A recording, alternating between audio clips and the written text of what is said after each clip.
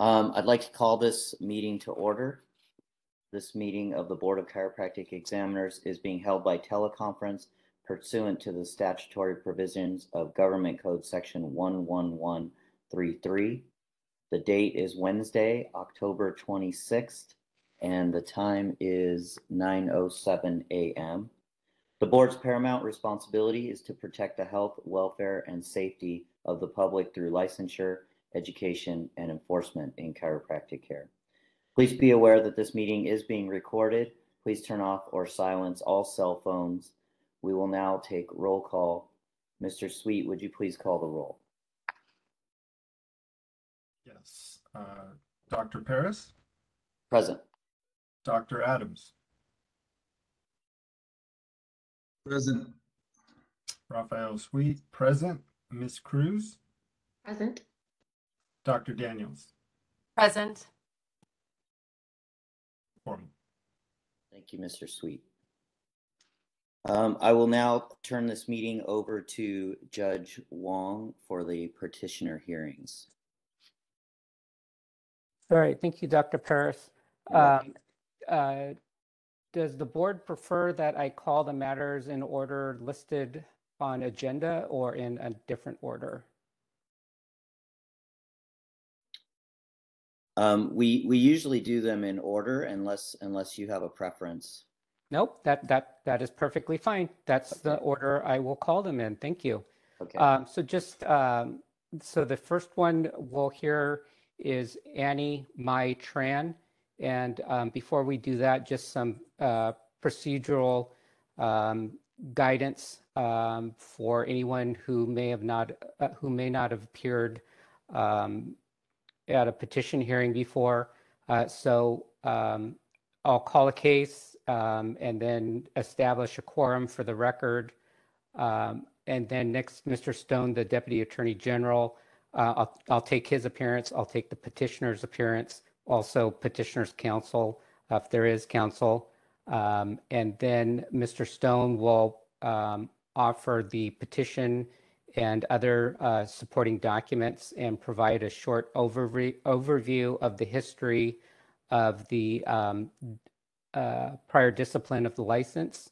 Um, after that overview, um, it'll turn over to petitioner to uh, present his or her case um, uh, and um, provide testimony and evidence as to why um, his or her petition should be granted. Um, one thing I'd like to remind all the petitioners of is that we're not here to re-litigate the prior discipline. Um, that's already has been uh, established.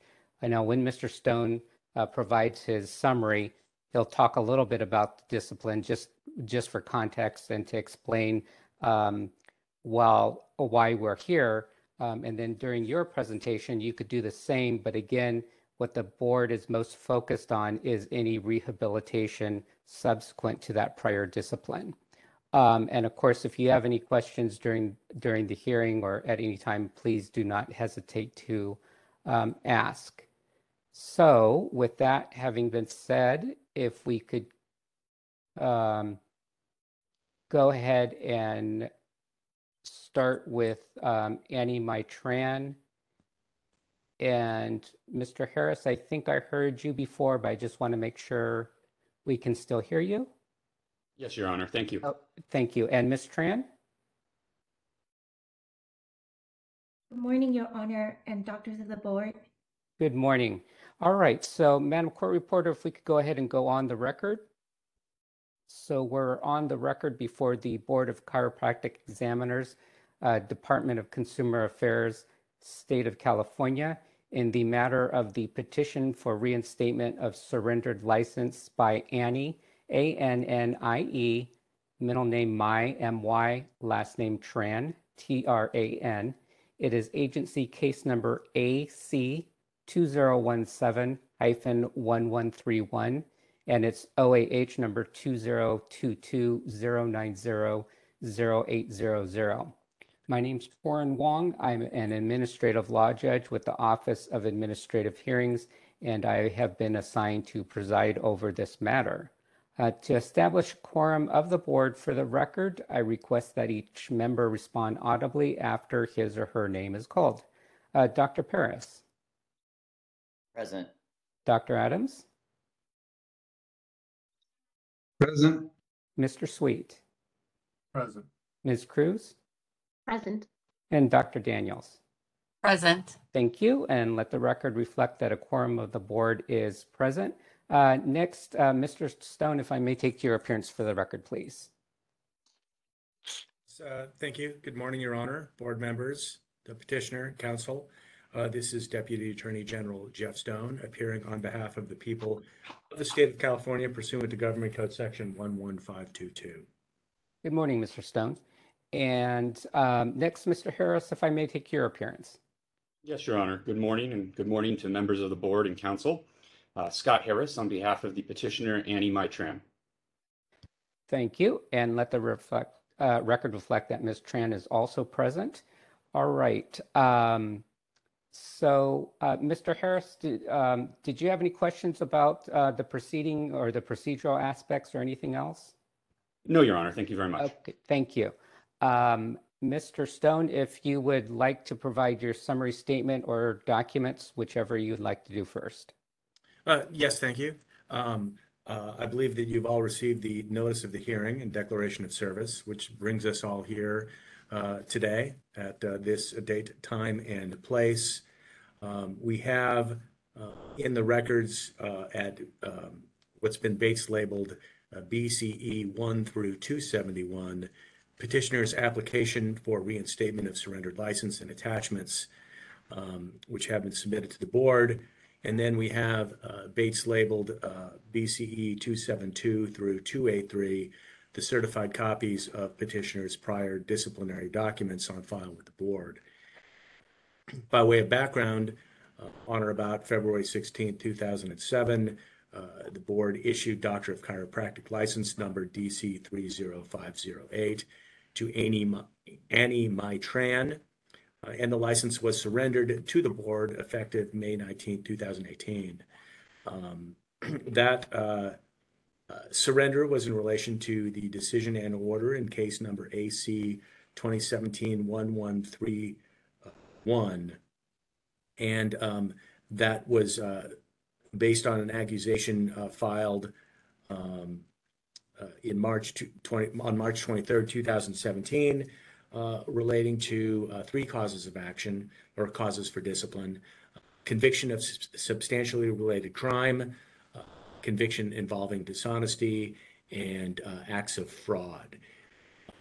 Generally speaking, the, uh, conviction uh, and the underlying conduct uh, was theft from an elder or dependent adult. And uh, the sentence uh, appears from that conviction of uh, Penal Code uh, 368 uh, subdivision D uh, was four years in jail, um, uh, two years of which was uh, suspended, uh, two years of mandatory supervision. Uh, the allegations generally related to um, the theft, uh, forgery and fraud and identity theft of an elder or dependent adult, uh, dishonesty and fraud. Uh, since that time, uh, from the petition, it looks like that uh, Ms. Tran um, has been employed as a uh, assistant or aide, chiropractic assistant or aide. She has, you'll see in the documentations, been in therapy with the Dr. Ferris. Uh, you can see that at uh, page uh, BCE 39. There are letters of reference that have been submitted from chiropractors at uh, BCE 42, from her uh, probation uh, monitor at uh, BCE 50, and uh, from other uh, other individuals beginning at BCE uh, page uh, 51. There uh, was an order of cost recovery in the underlying action, uh, the costs of investigation enforcement in the amount of $6,000, um, ordered prior to the issuance of a new or reinstated license. Um, And uh, believe that that amount is still uh, due and outstanding. There have not been any other previous petitions uh, for reinstatement, and the um, petitioner has submitted continuing education documentation, which appears pursuant to CCR Title 16, Section 365, uh, to be sufficient um, to fulfill the continuing education requirements. Uh, More specifically, in that regard,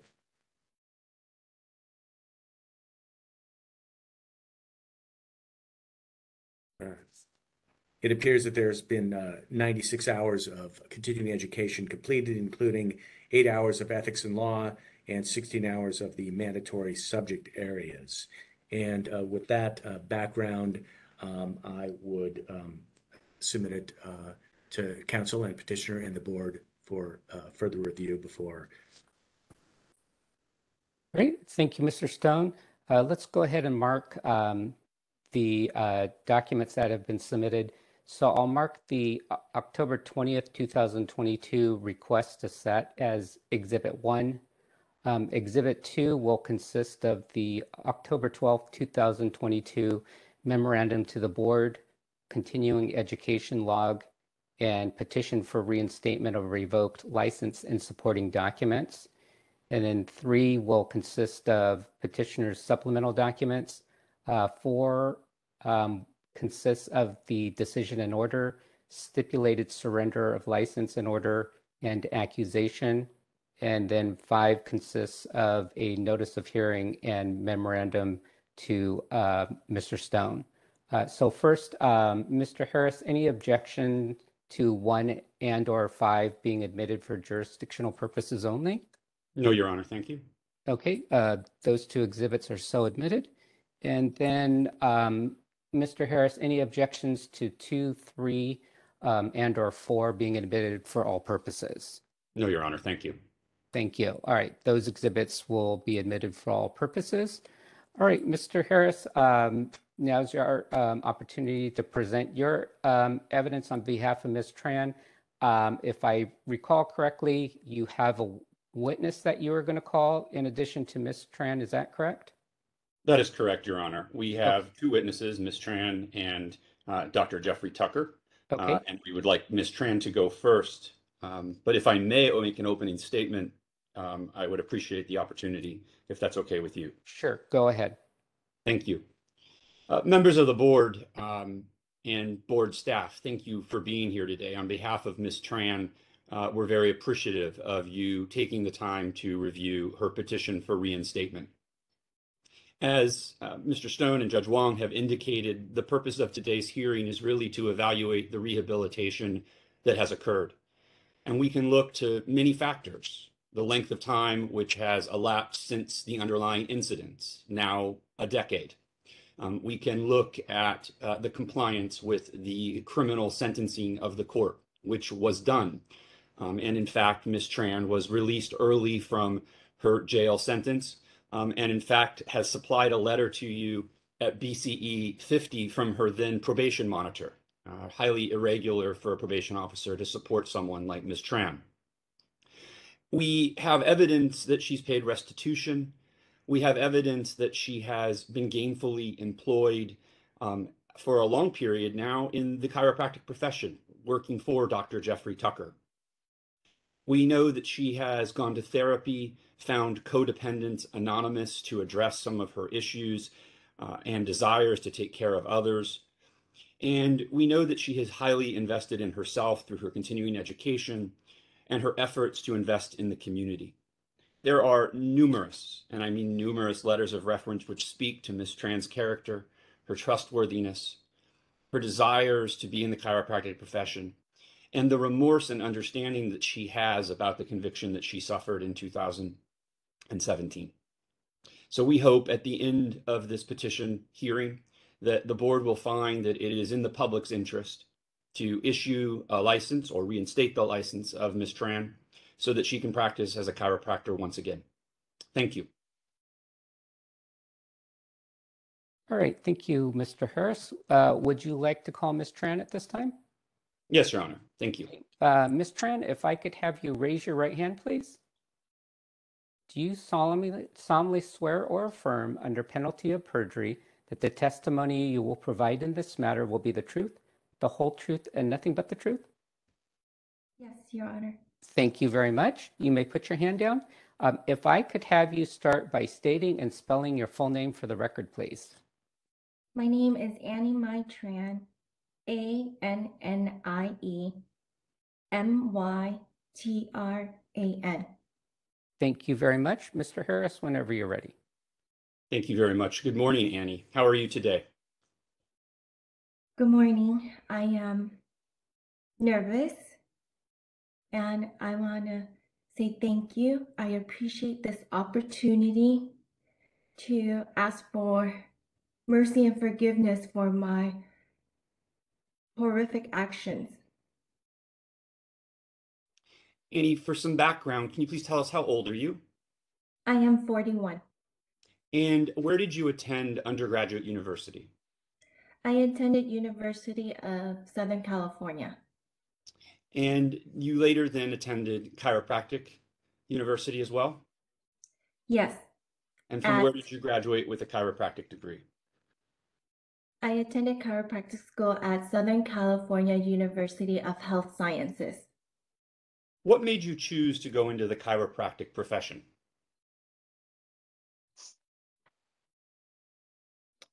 I choose the chiropractic profession because my grandfather was bedridden for almost 10 years.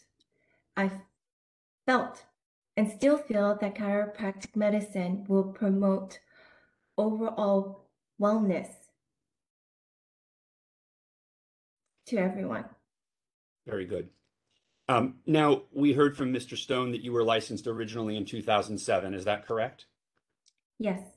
And can you please tell us about your um, career as a chiropractor between 2007 and when you lost your license in 2018? I practice at a multidisciplinary practice with orthopedic as well as physiatrists, helping patient rehabilitate and be able to function without with less pain. Did you also at any point have your own practice? I have a small private practice. And do you recall the years in which you had that practice? It was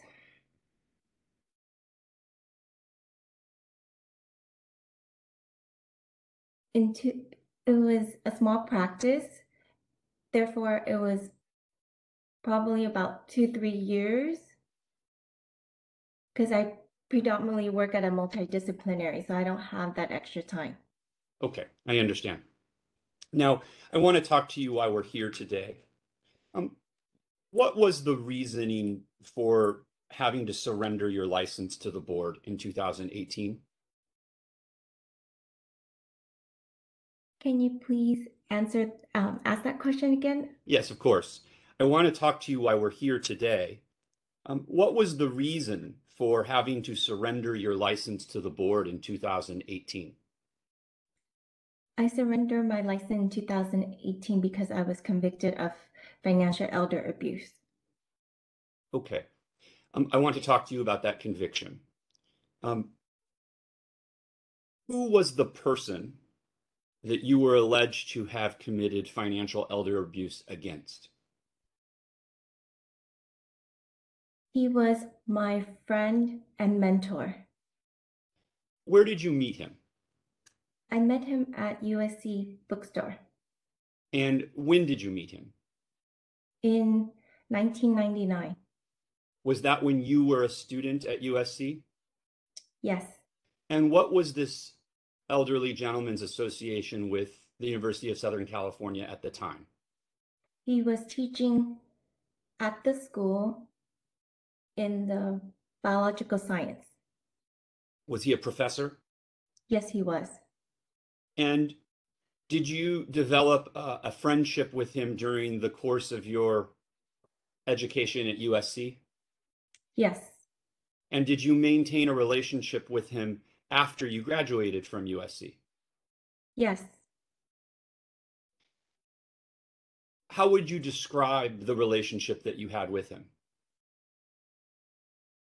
He was a parental figure for me.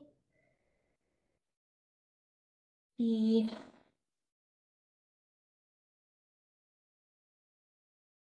he was my mentor, my friend, my confidant. And in the years after you left USC, how often would you see him? About once to twice a week. At some point, did this gentleman start to give you or gift you money? Yes. What was the reasoning behind his giving you money? He was helping me financially because my dad has an addiction to gambling. He borrowed money from loan sharks. And for my well being and my family well being, I accepted his help because I was afraid. Now, we know that you've been convicted of financial elder abuse. How did that allegation come to exist?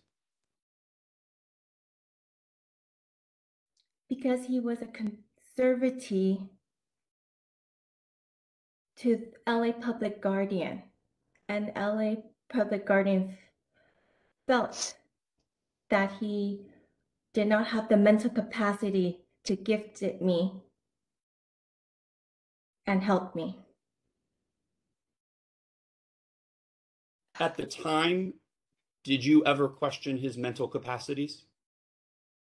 At the time, I did not question his mental capacity because he was still teaching and self sufficient. Looking back, I realized that I was binded by my fear for my life and my family and my selfish needs. I understand now that I was enabling my dad and I was enabling him because I wanted his love and acceptance. Therefore, I constantly have my friend helping me so I could have my dad love. Do you look back now and understand how you took advantage of this gentleman? Yes, I took advantage of my friend, someone who loved me when I needed love.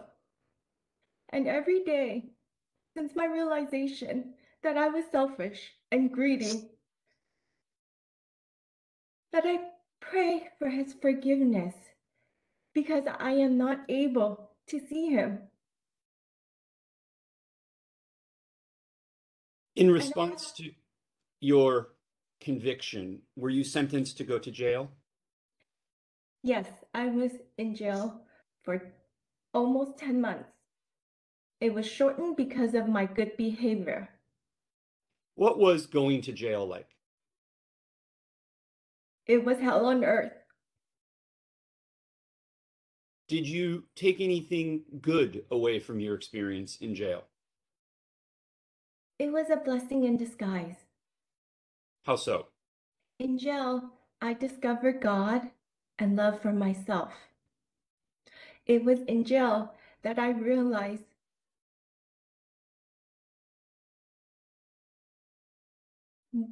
why I was enabling my dad. I could have take you know, move my family and dis and disassociate myself from my dad, but I was seeking for his love and acceptance to fill my empty heart. Therefore, I enable my dad to continue gamble and borrow from loan sharks. How did help, or excuse me, how did finding God and religion help you reflect on what you had done? By finding God and loving myself, I understood and understand that I was taking advantage of my friend and having unhealthy relationships as a codependent. I have these strong traits of wanting to solve other people's problems, lack of self worth, and pleasing people. You've just testified that you have uh, the traits of someone who's codependent. Um, how have you worked to address that issue? By ha-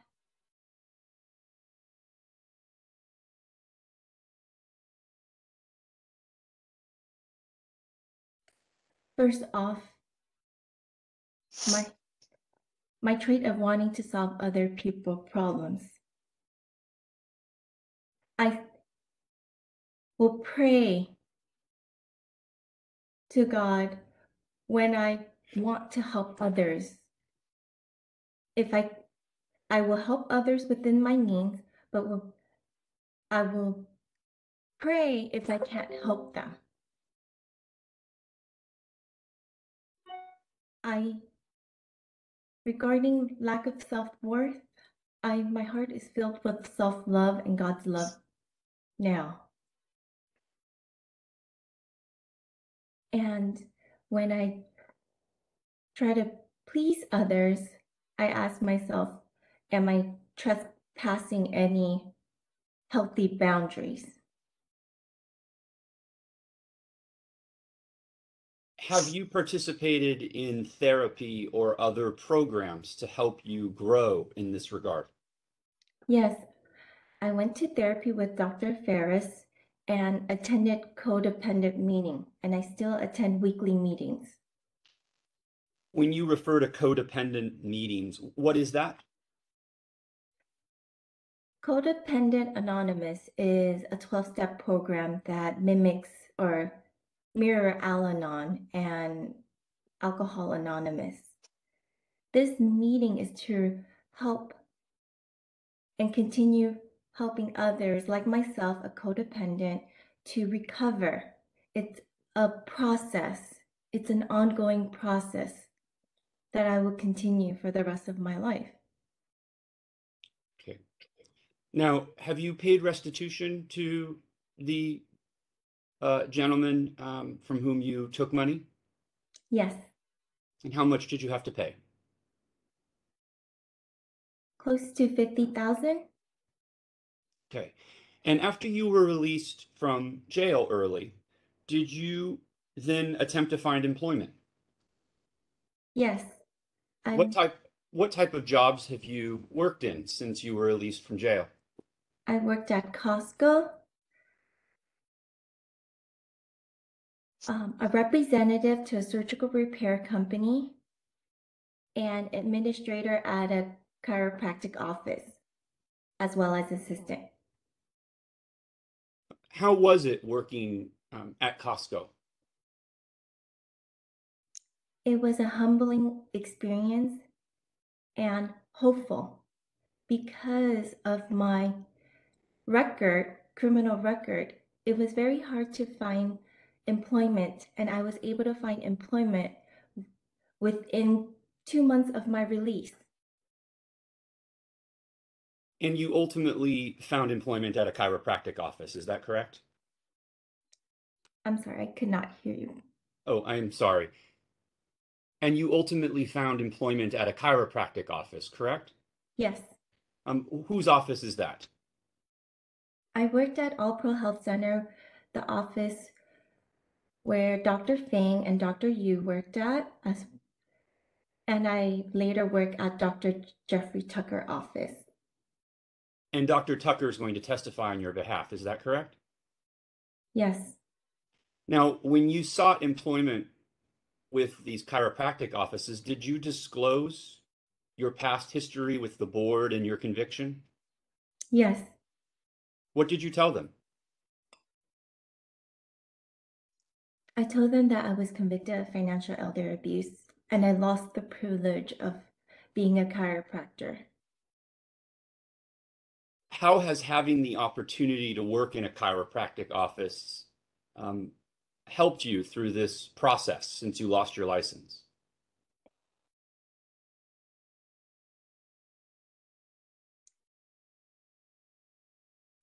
Can you please repeat that question? Yes, of course, Annie. Um, how has having the opportunity to work with Dr. Tucker and um, Dr. Feng helped you in your rehabilitative process?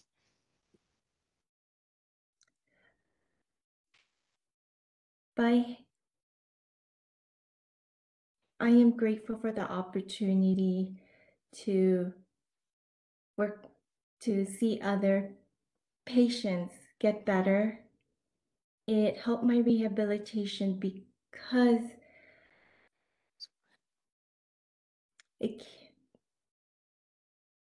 makes me hopeful for one day to be a chiropractor again. And by being hopeful, I keep myself accountable every day through self evaluation and meditation so that I could be more mindful through thoughts, words, and action when I interact with others. Has working with Dr. Tucker and other chiropractors helped you stay abreast of chiropractic medicine? Yes, they How so? will. Huh? How so? They will inform me of the examinations for the body areas that patient are coming that patient has complaint and they will tell me the type of treatment. Therefore, I beside reviewing from my books, I am seeing it every day. In addition to your work, have you also tried to involve yourself in the community? Yes, How have you done that? I've involved myself with the community through crisis text helpline and res- union mission, union rescue missions, and food banks. Most of my volunteer work is through the crisis text line. How has this overall experience helped you grow as a person?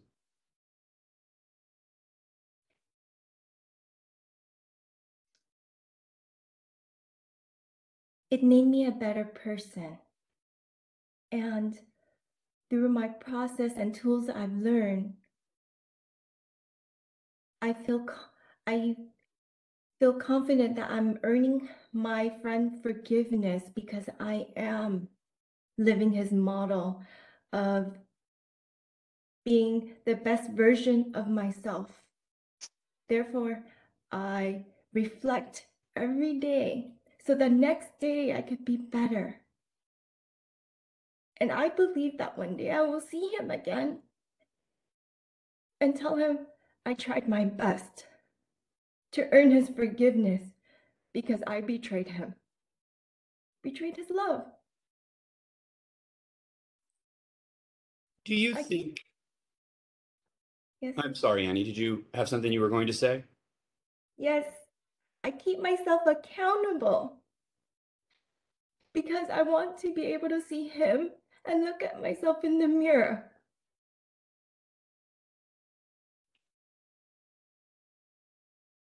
Do you think that the Annie of today would ever take advantage of someone like you did 10 years ago? No, I would not take advantage of my friend. I will find other solution to my problem, which is not see my dad again, move my family away, change our numbers. I did not do that 10 years ago because I wanted him to love me so my heart could be filled with love. Annie, what can you tell the board members here today to assure them that this type of incident will not occur again?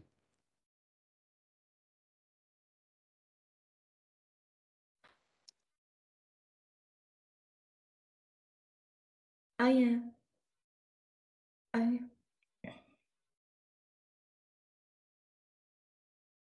I will not do. I will not take advantage of anyone. I will not accept any monetary means from anyone. I will not have unhealthy relationships, and how I keep myself accountable and prevent myself from doing any of this is attending weekly CODA meetings, going to church, volunteering and donating because when I volunteer and donate, it reminds me what where I've been. And I never want to lose my freedom and lose the privilege of being a chiropractor if given the opportunity to practice again. And why do you want to be a chiropractor again? I want to be a chiropractor because I miss the pre and post palpation after an adjustment. I miss charting notes when patient tells me they're able to wash the hair again because their shoulder has less pain and tying their shoelace. And given the opportunity to practice chiropractic again, I will share my story with future chiropractors and doctors so they could cherish their license because it's a privilege. Very good, Annie. I have no further questions, but I am guessing that the board members may. Great, thank you, Mr. Harris. Uh, First, uh, Mr. Stone, cross-examination. Yes, thank you, Your Honor. Uh, Just a few questions. Um, Ms. Tran, uh, when, when you were uh, uh, obtaining the money uh, from the victim um, of your crime, uh, did you know that he was a conservatee? He was not a conservative. He was a professor at USC teaching and living on his own. Well, I think you, you mentioned, or your attorney might have mentioned, that um, at the time uh, that he uh, provided you money, that uh, he was a conservatee, and that led to the issues um, regarding your criminal case. He was a conservative after um, providing me financial help. Okay, so he, he gave you money before you knew he was a conservatee? Yes, Uh, did you tell him that you needed money for the gambling debts of your father? yes, And is that why he gave you the money? yes, And um, do you have a relationship with your father now? yes, I do. And um, uh, how is that relationship? And how, how is that relationship different now than it was in the past? It was, it is better. Through our experiences, he is a better man. Does he gamble? He does not gamble.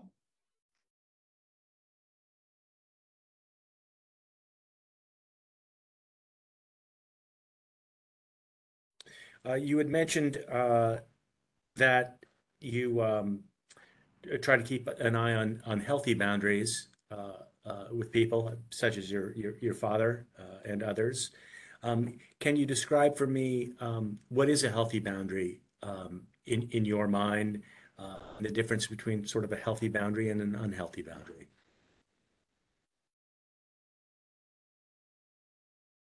Healthy boundaries to me is when I ask myself if the I'm taking advantage of someone else and if they are taking advantage of me. And if depending on the relationship, if that's reasonable. And I believe you mentioned that you've um, received, uh, learned, educated yourself, and, and obtained tools in this regard through um, therapy. Uh, is is one means? Is that correct? Yes, and self-help books.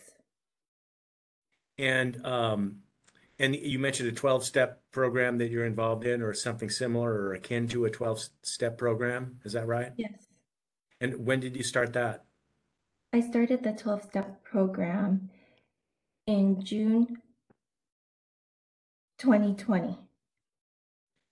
And um, have you progressed through uh, various steps in that program? I've completed that step, 12 step, and I continued going and continue repeating the steps. And that's, uh, I, I guess, a, a codependency program? Yes. Is that right? And Yes. can, can you uh, just describe for me briefly what um, codependency uh, is um, in regard to uh, that program or the other issues that you have regarding codependency? Can you describe a little bit about um, what the issue or problem is with the codependency? Codependent Anonymous is a program that um, has a that is for those who are codependent with these specific um, there's the traits are long but they have low self-esteem they try to solve other people problem caretaker and want to please others and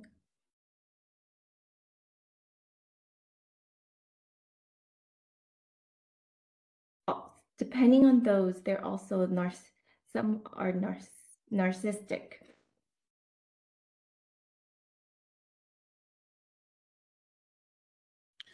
During your 12-step uh, program regarding codependency, was there a step that you found um, particularly difficult uh, or most difficult that you could uh, describe for us? yes it was step four And, and what's that step? to express your wrongdoings how it led to that those wrongdoings and what you did And um, can you tell me what step that you found um, uh, most rewarding?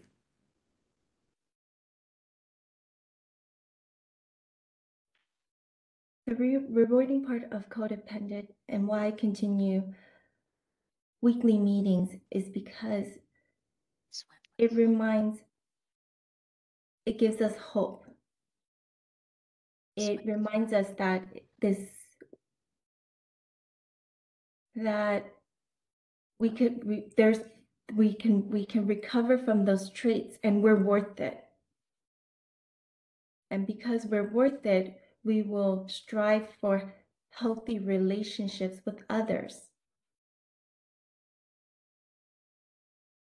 And having- I'm, I'm sorry, I think I might have interrupted you. and by having these relationships, it it's like check and balance. It reminds you when you hear others of what they're going through, it reminds you of what you went through so that you won't do it again.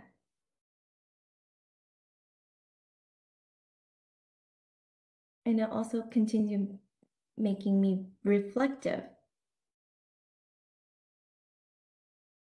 And I, I think you mentioned you continue um, attending the 12-step program. Yes, And uh, you mentioned that you had therapy with Dr. Ferris. Uh, Are you still um, seeing Dr. Ferris? only when I need to see her. When was the last time you saw her? Earlier this year, And was that in relation to a codependence issue that you had?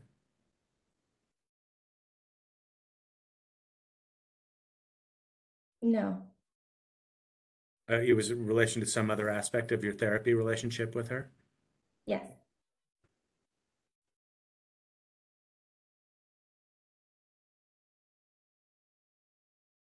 Have you uh, um, had any other challenges over the past couple of years, codependent challenges, whether it was with your father or in any other relationship?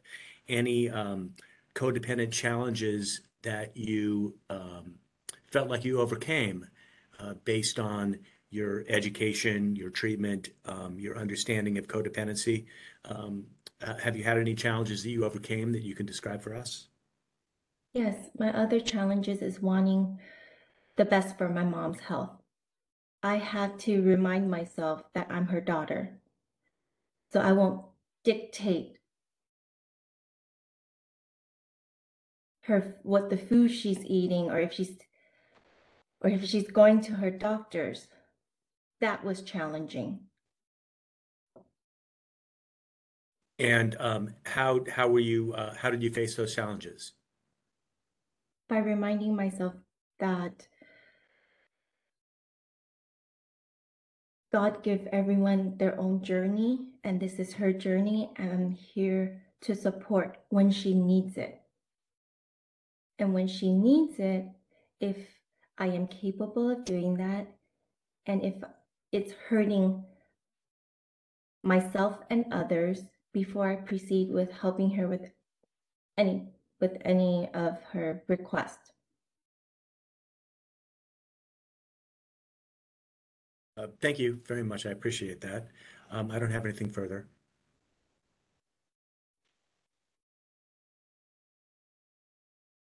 Thank you, Mr. Harris. Anything further on redirect? No, Your Honor, thank you. All right. Um, so next, I'll turn it to the board to see if there's any questions. Uh, first, uh, Dr. Paris. Thank you, Judge Wong. And hello, first, I, I'd just like to congratulate you on your efforts um, for rehabilitation and happy to hear that you have a relationship with your father and that he's no longer gambling. Um, it sounds like you've done a tremendous amount of work there. So uh, thank you. My my first question is I was wondering if you could um, kind of just clarify the duties uh, that uh, your work duties um, from the offices that you've been working at in the time that you were um, unlicensed. I was a res- I help patient schedule patients, collect fees, and administrative work, and help with assisting in physio modalities. Thank you. Um, and I, I know you had um, mentioned uh, in your packet, and I think you'd mentioned in your testimony about doing some uh, work on your evaluation and examination skills. I believe it was with Dr. Tucker. Can you can you describe that a little bit more for me?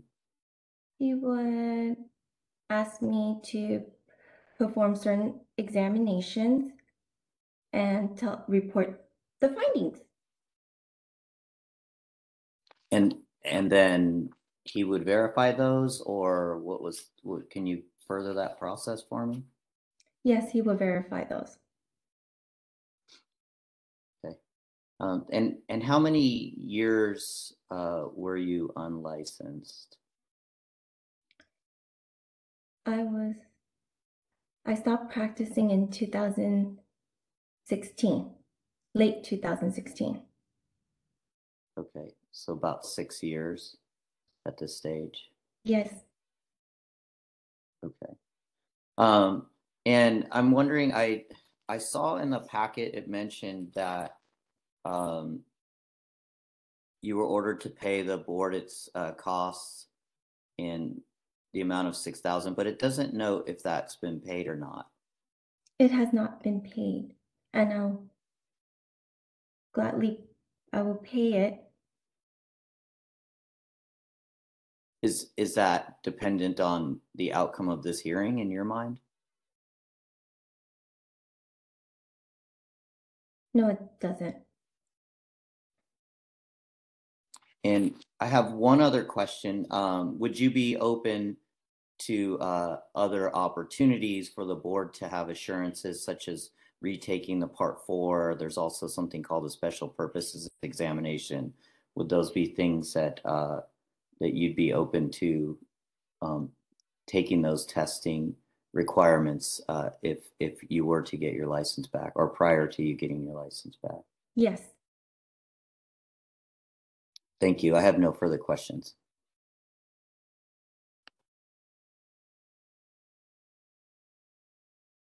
Great, thank you. Uh, Dr. Adams, any questions? Uh, yes, just a few. Again, I uh, echo uh, Chair Paris's, um, uh, you know, words that, you know, a lot of courage to come back and, and go before the board and, and uh, I commend you for the efforts you've done thus far. I just wanted to touch on real quickly the, uh, to piggyback on Dr. Paris's, uh, why, why have you not uh, paid back the board um, fees, uh, even in um, uh, incremental payments over the last uh, eight years or six years. Because I was having, um, I was living within my means. I wasn't able to do that. And I would gladly to pay the board back. And I didn't Um, know I was supposed to pay the board back, um, before my hearing. Okay.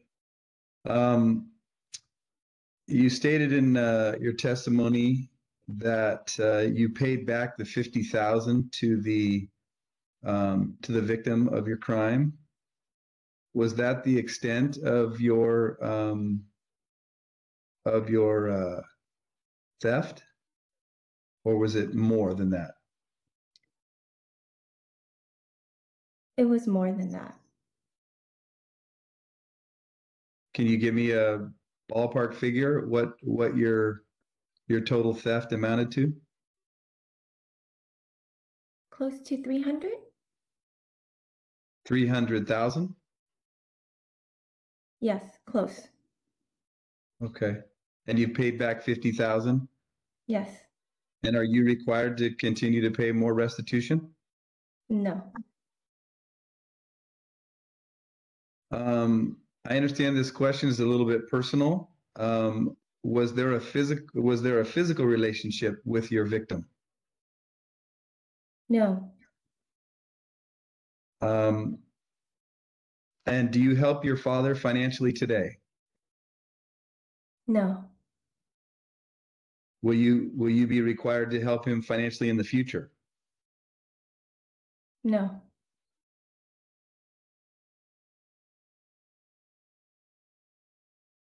Uh, and my final question, did all the money that you stole from your victim uh, go to exclusively to uh, your father's debts with the loan sharks, or did you uh, use any of that money for your own personal gain?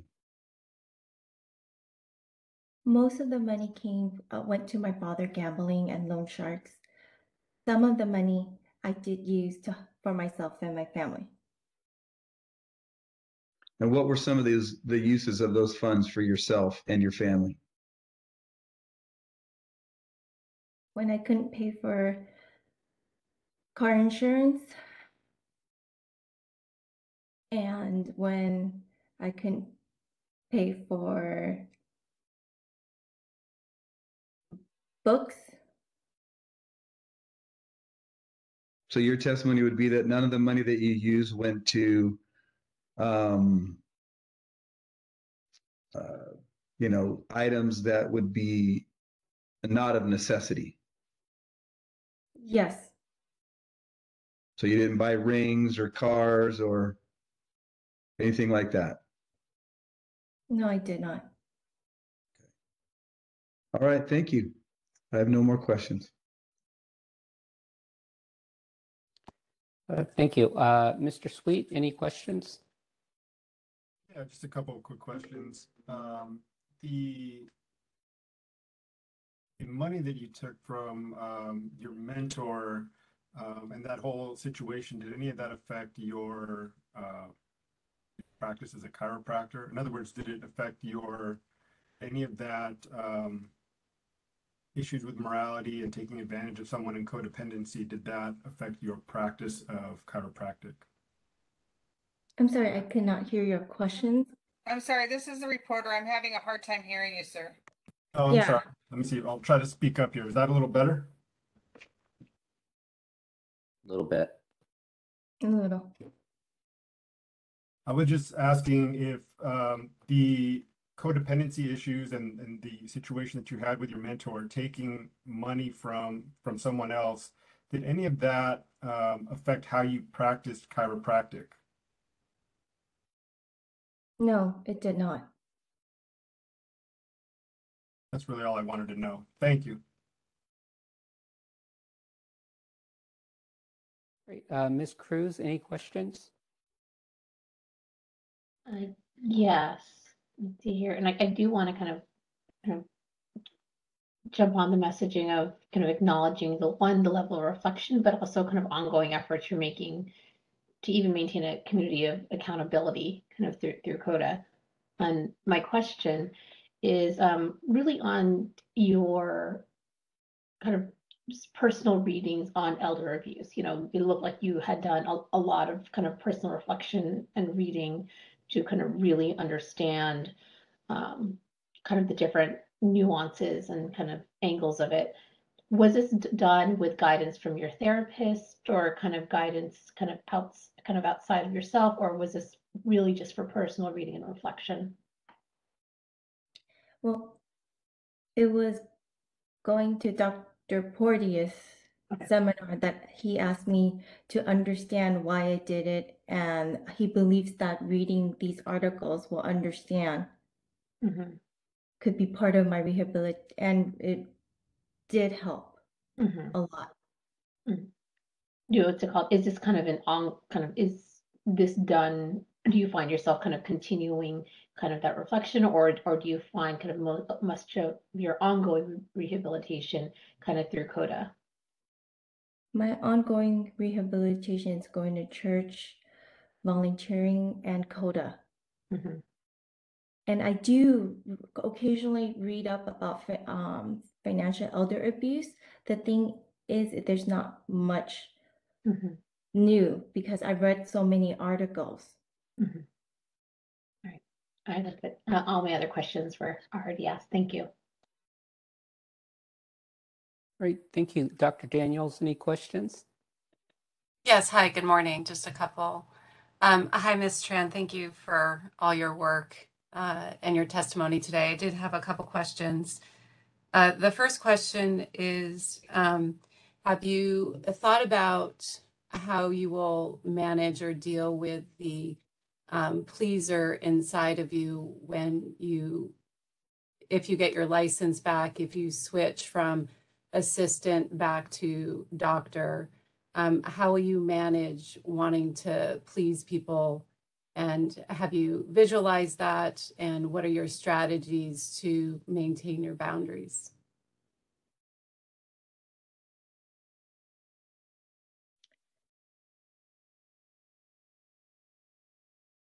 I, could give you an example how I remain my, my boundaries and how I learned through crisis text line.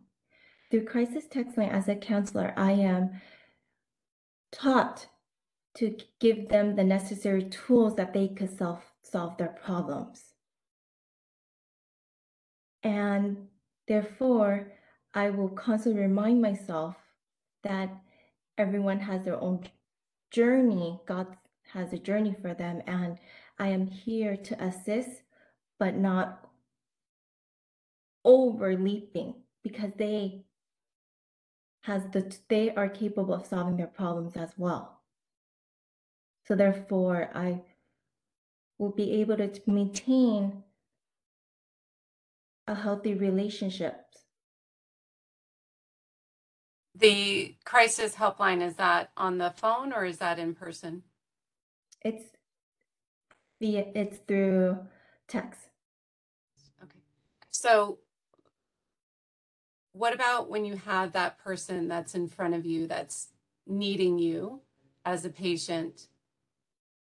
And are you comfortable in maintaining your boundaries in that face-to-face interaction when, say, a patient needs more than you should or could give? Yes, I am confident to keep those boundaries. And I think you, I just, sorry, go ahead. by asking myself, am I overpassing my boundaries? And also by praying for them because I can't I can't solve everyone's problem. Um, and I just wanted to confirm, I think you said that you're continuing to uh, rework the steps for codependency. Yes, And do you plan to continue that? yes. And then uh, just last question, again, just to echo uh, Dr. Paris, Dr. Adams. Um, so is there, can you just clarify a little bit more for us um, why you haven't uh, made any payments to the board in the last few years? I understand you said living within your means, but you have made other donations. So I'm just wanting a little bit more clarification.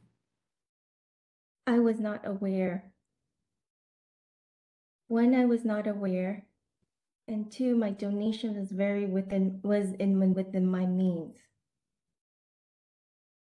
Okay, so you're, you weren't aware that um, there was fees to repay the board? Is that correct? Yes, at a certain time frame. I I just did not know. Okay, all right, no further questions, thank you.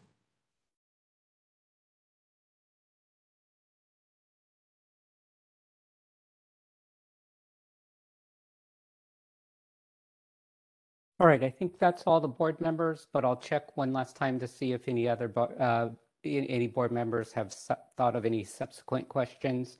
Um, so any further questions from the board?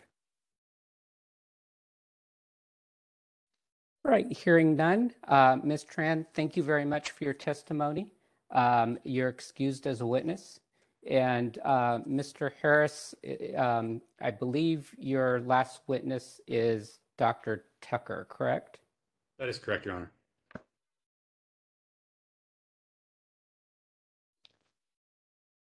And Dr. Tucker, can you hear me? Yes, All right.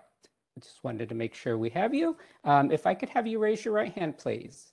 Do you solemnly swear or affirm under penalty of perjury that the testimony you will provide in this matter will be the truth, the whole truth, and nothing but the truth? yes. Thank you. You may put your hand down. Um, if you would please start by stating and spelling your full name for the record, please. I'm Jeffrey Tucker, J E F F R E Y. Tucker, T U C K E R. Thank you very much. Uh, Mr. Harris, whenever you're ready. Thank you. Good morning, Dr. Tucker. Good Morning. Um, are you a licensee of the board? Yes, And for how long have you been licensed by the board? I've been in active practice for over 40 years. And where is your practice located? West Los Angeles, California. And in addition to your private practice, are you involved in the chiropractic education world? Yes, I'm the current past president of the American Chiropractic Association Rehabilitation Council, and I have taught a lot of courses throughout the country and as well as other countries in rehabilitation and chiropractic techniques, nutrition, exercises, therapy. Very good. Um, and is it fair to say that you know Annie My Tran? Yes. When did you first meet Miss Tran? I met Annie over two years ago, but but before I answer that, can I please just say thank you to the entire chiropractic board for your service and what you do. And some of you may know me, and some of you this is our first time. And I just want to share with you that over two years ago, I actually applied and interviewed to be on the Board of Chiropractic Examiners.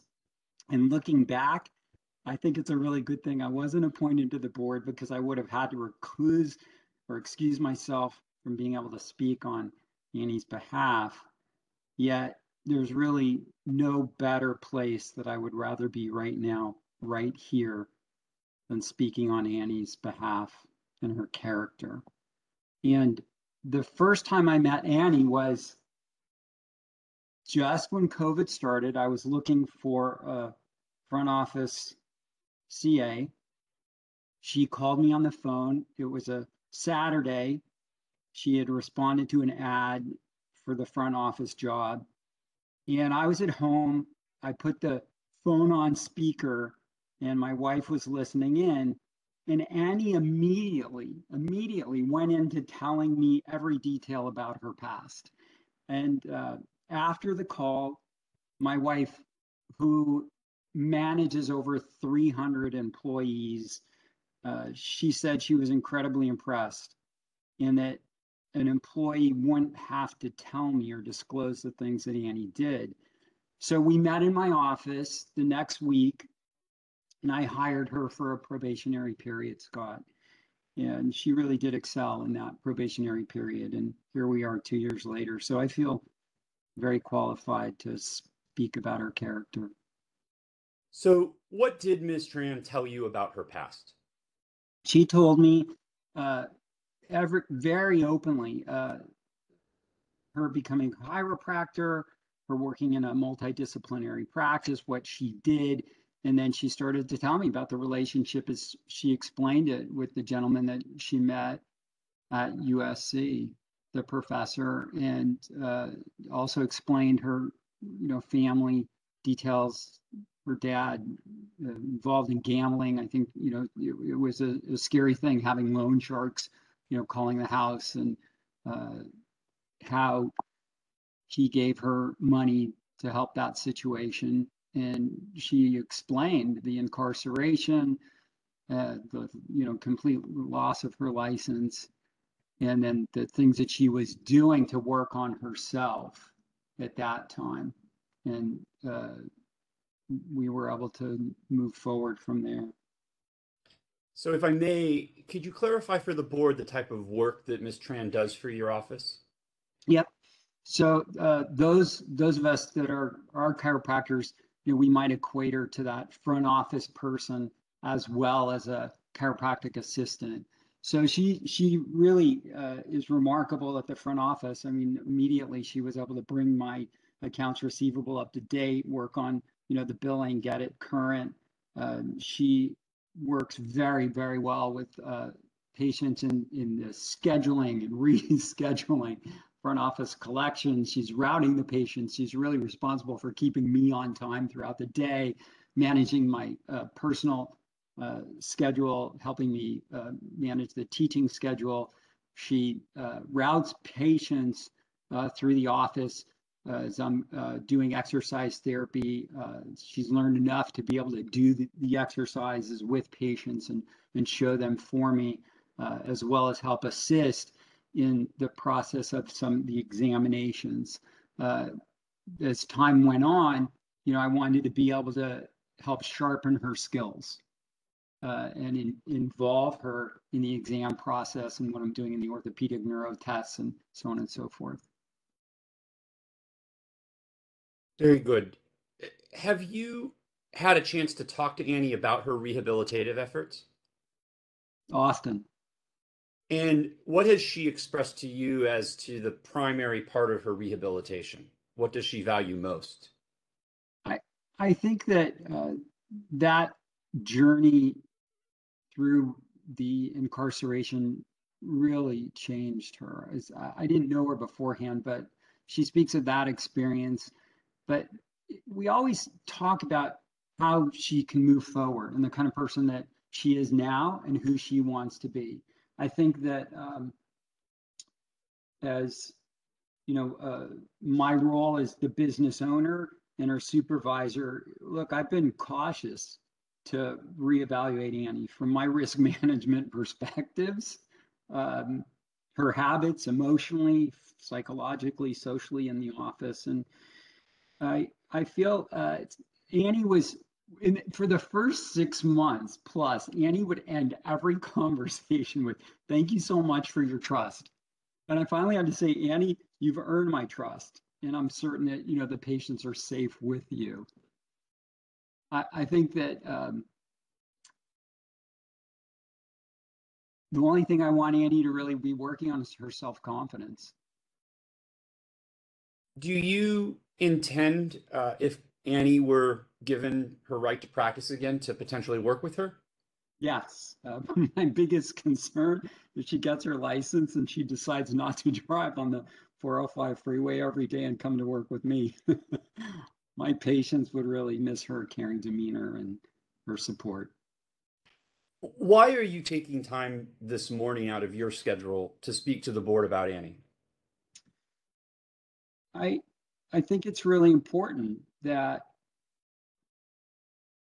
I I have had that day-to-day experience with her. I've I've seen her demonstrate good habits, showing up early to work every day.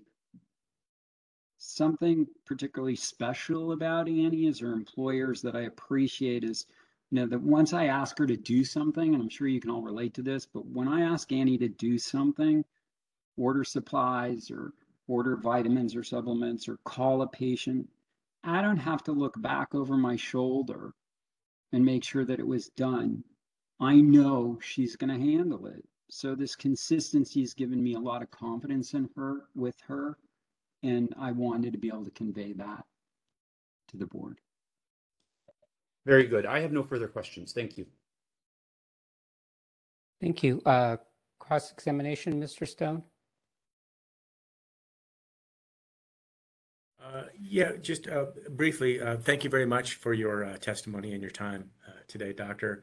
Um, you mentioned in, in a letter that you wrote in support of a petitioner that over the course of working together, you've been faced with difficult situations with her, and you've seen her research and process risks, rules, and regulations to ultimately make consistent, good, sound business decisions. And I was wondering if you could give us some uh, concrete or particular examples of difficult situations where where you've seen um, the petitioner research and process the risk rules and regulations to make uh, a, a good uh, therapeutic decision. I know at that time when I was writing it, there was there was one or two very specific examples, and forgive me if I don't remember them exactly, but I believe they were around uh, coding uh, was part of it, possibly rebilling was another one. I, I hate to guess what those were, but I, I'm pretty sure it was it was around coding.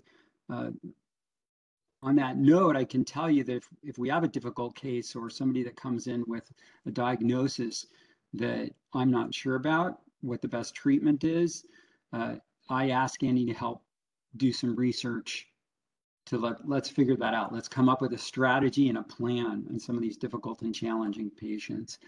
So her participation is, is helpful uh, doing research, but there, there have been times when we sit down and we, we may, we may talk about, uh, okay, where, where are we at with this, this patient? What else do we need to do? Who's the best referral source for this patient to go to? Um, during your work with her, uh, or in your discussions with her regarding either work or or her personal life, um, have you either witnessed, uh, seen, or uh, discussed with uh, Ms. Tran um, uh, any codependent issues that uh, she was faced with that you saw her uh, struggle with and overcome, um, or otherwise address anything in particular to the codependency issues she has?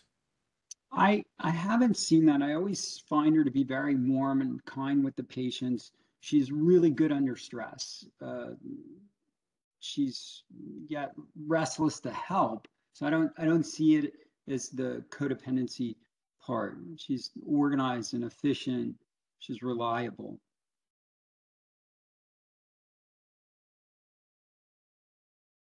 Uh, so you haven't seen her, um, or you haven't discussed with her any struggles that she's had with um, battling a codependent aspect of her uh, personality in terms of either the work that she's had with you or in um, any other aspect of her life. No, she's only she's only shared that she's going to the meetings. We have not had a need to talk about the specifics. Uh, thank you. I don't have anything further. Right, Mr. Uh, Harris, anything on redirect? No, Your Honor. Thank you. All right, uh, next I'll check with the board. Um, Dr. Paris, any questions? I- I do have a question. Um, first of all, I'd, I'd like to thank Dr. Tucker for taking time out to come today. And um, we don't we don't always get um, to see the, uh, y- you know, we don't always get to hear the support face to face. It's usually a written letter. And so to take your time out today and, um, you know, to have you here, you're a well known, well respected um, chiropractor in, in the, um, in the profession. So um, that weighs heavy for me. So uh, I do have one question, and you mentioned it actually, and I think it, it surrounds the um, kind of the self confidence in being able to return to practice. And wh- where do you think that stems from? Is that a clinical confidence, or do you think that is just um, someone who who's trying to uh, and making great efforts to kind of rehabilitate and get back, and and just hasn't fully arrived, you know, in their own mind? What are your thoughts? Yeah, thank you, Dr. Pierce. I, I honestly think that she has competence as a chiropractor. I, that her level of uh, thought process is, as a practitioner, is there. The confidence probably came from being incarcerated and, and having that type of a, a schedule. I don't really know what goes on in there. I can't imagine. But I, I think that's that's part of it. And I, um, I just have a follow up. What would your thoughts be um, on us providing assurances to the public by um, incorporating some sort of uh, further testing through the NBCE has a special purposes exam and a Part Four exam? From your view, um, would that be something that you see would be helpful? I I know that uh, through my efforts, I've been working with Annie to keep her up to date on all the essentials functions of what we do in the office. So uh, I imagine she would do really well if she needed to take those tests. I I, I think it, it's fine. I have no further questions, and thank you again for um, good to see you again, and thank you for being here today. Thank you.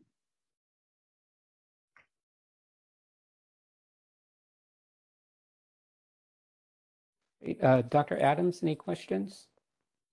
Uh, Yes, uh, thank you, Dr. Tucker, for uh, for being here today. Your presence is uh, is well received. um, just a, a question: How would you rate uh, um, Ms. Tran's uh, skills um, as a practitioner, as a her chiropractic adjusting skills? Oh, good question. Um, thanks, Dr. Adams. She, without her license, she's not allowed to do manipulation. So we're very clear, you know, what those boundaries are in the office. Uh, so uh, let's think of all of the things uh, that she can do. So she's uh, can do exercise therapy. Uh, she assists me if I'm doing therapies or modalities such as uh, a, a laser treatment or a shockwave treatment. She'll she'll assist me, be there while I'm doing it. Uh, she may do some soft tissue technique, uh, for example, you know, pin and stretch type of technique with me and assist in that as well. So uh, I personally, on a personal note, uh, I have her practice on me, but we're not doing manipulation or anything that's outside of the scope of that practice. Do you feel a sense of uh, her confidence in that process, in uh, in setting up and and doing what what it is that you do? Do you feel that there's that confidence there? Absolutely. Skill levels are there, motor skills, those aspects. Yes. Skills. Thank you. Appreciate that. Thank you for your time. Thank you. Uh, Mr. Sweet, any questions? No questions. Thank you for your time, Dr. Tucker. Ms. Cruz, any questions? No questions. Thank you for your time also, Dr. Tucker. Dr. Daniels, any questions? No questions. Thank you. All right, I think that's each of the board members, but I'll double check to see if anyone's thought of any subsequent questions. Um, any further questions from the board? All right, hearing none, thank you very much, Dr. Tucker, for your time. You are excused as a witness. Thank you for coming. Um, Mr. Harris, any further um, evidence? No, Your Honor, the petitioner rests. Okay, uh, so closing arguments, Mr. Stone? Uh, No, we don't have any uh, argument uh, to provide uh, in uh, relation to whether um, reinstatement is um, appropriate or not. We leave that in the board's sound discretion uh, within the disciplinary guidelines.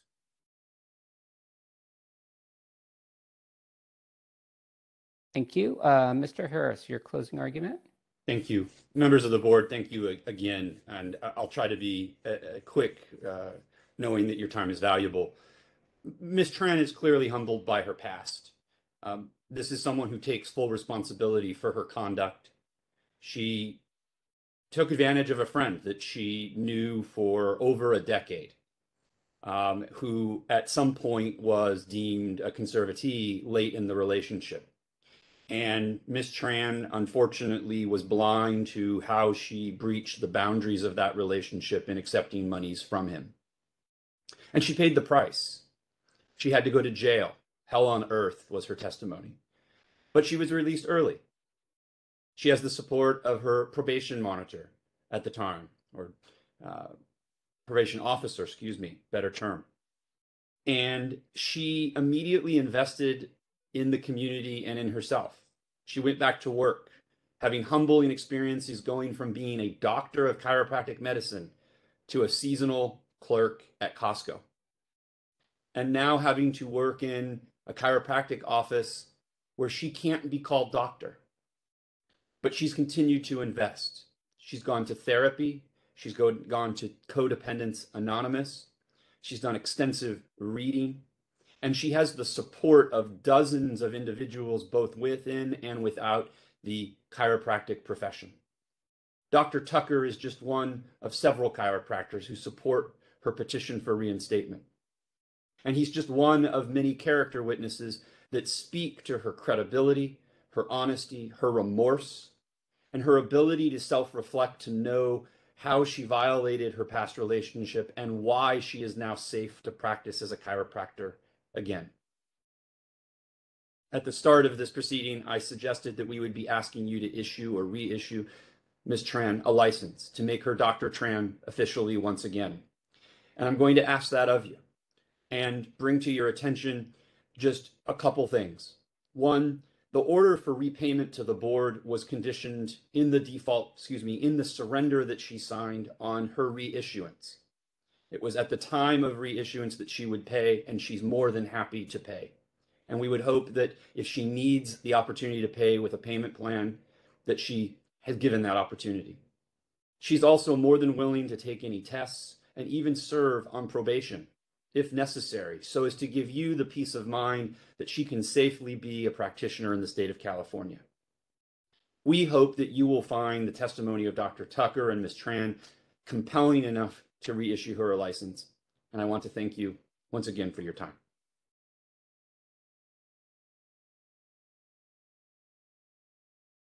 All right, thank you very much, uh, Mr. Harris. Thank you for your time and your presentation. Um, so that concludes the hearing on this matter. Um, the record's closed and uh, the matter is submitted, um, and we are off the record. Um, and so, um, Mr. Harris, as I, I, believe you know of the process, the um, board, after hearing the remaining matters on calendar, will deliberate in closed session about this matter and a decision will be issued um, later on in the future. So there, there won't be a, a um, decision issued today. Um, and then, of course, if we were in here in person today, um, the court reporter would be filling out a form um, in case you wanted a copy of the transcript. Uh, but since we're not in, in person, um, my office will uh, will send you one, if not uh, later today, tomorrow. Um, are there any questions? No, Judge Wong, thank you very much. And again, members of the board, thank you. All right, thank you very much. Good luck. Um, and Madam Court, Report, Madam Court Reporter, when you have a moment, if I could get a page estimate. Yes, the page estimate uh, is 58 pages. Thank you. Um, and Dr. Paris, shall we proceed to the next matter or does the board wish to take a break? I think we might um, maybe take five-ish, maybe five to 10 minutes, let everyone uh, get a, use the facilities and if that's okay. That's perfectly acceptable. Okay, um, why don't we take, why don't we come, we take eight minutes and we'll come back at 10:40. Very good. Okay, thank you.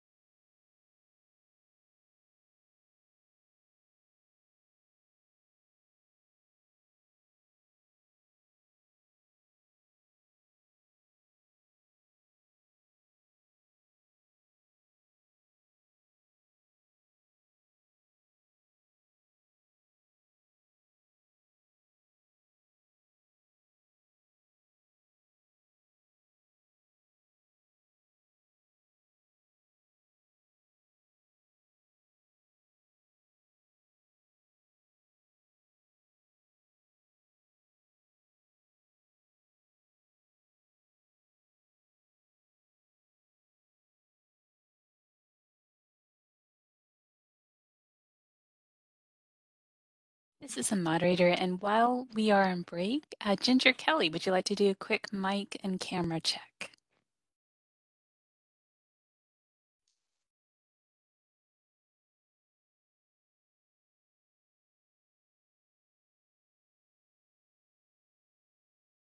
Hello. Hi, yes, we can hear you. Would you like to try your camera as well? Sure. Perfect. I can see and hear you. So um, you're set to go when we're back from break. Great. Thank you. Thank you.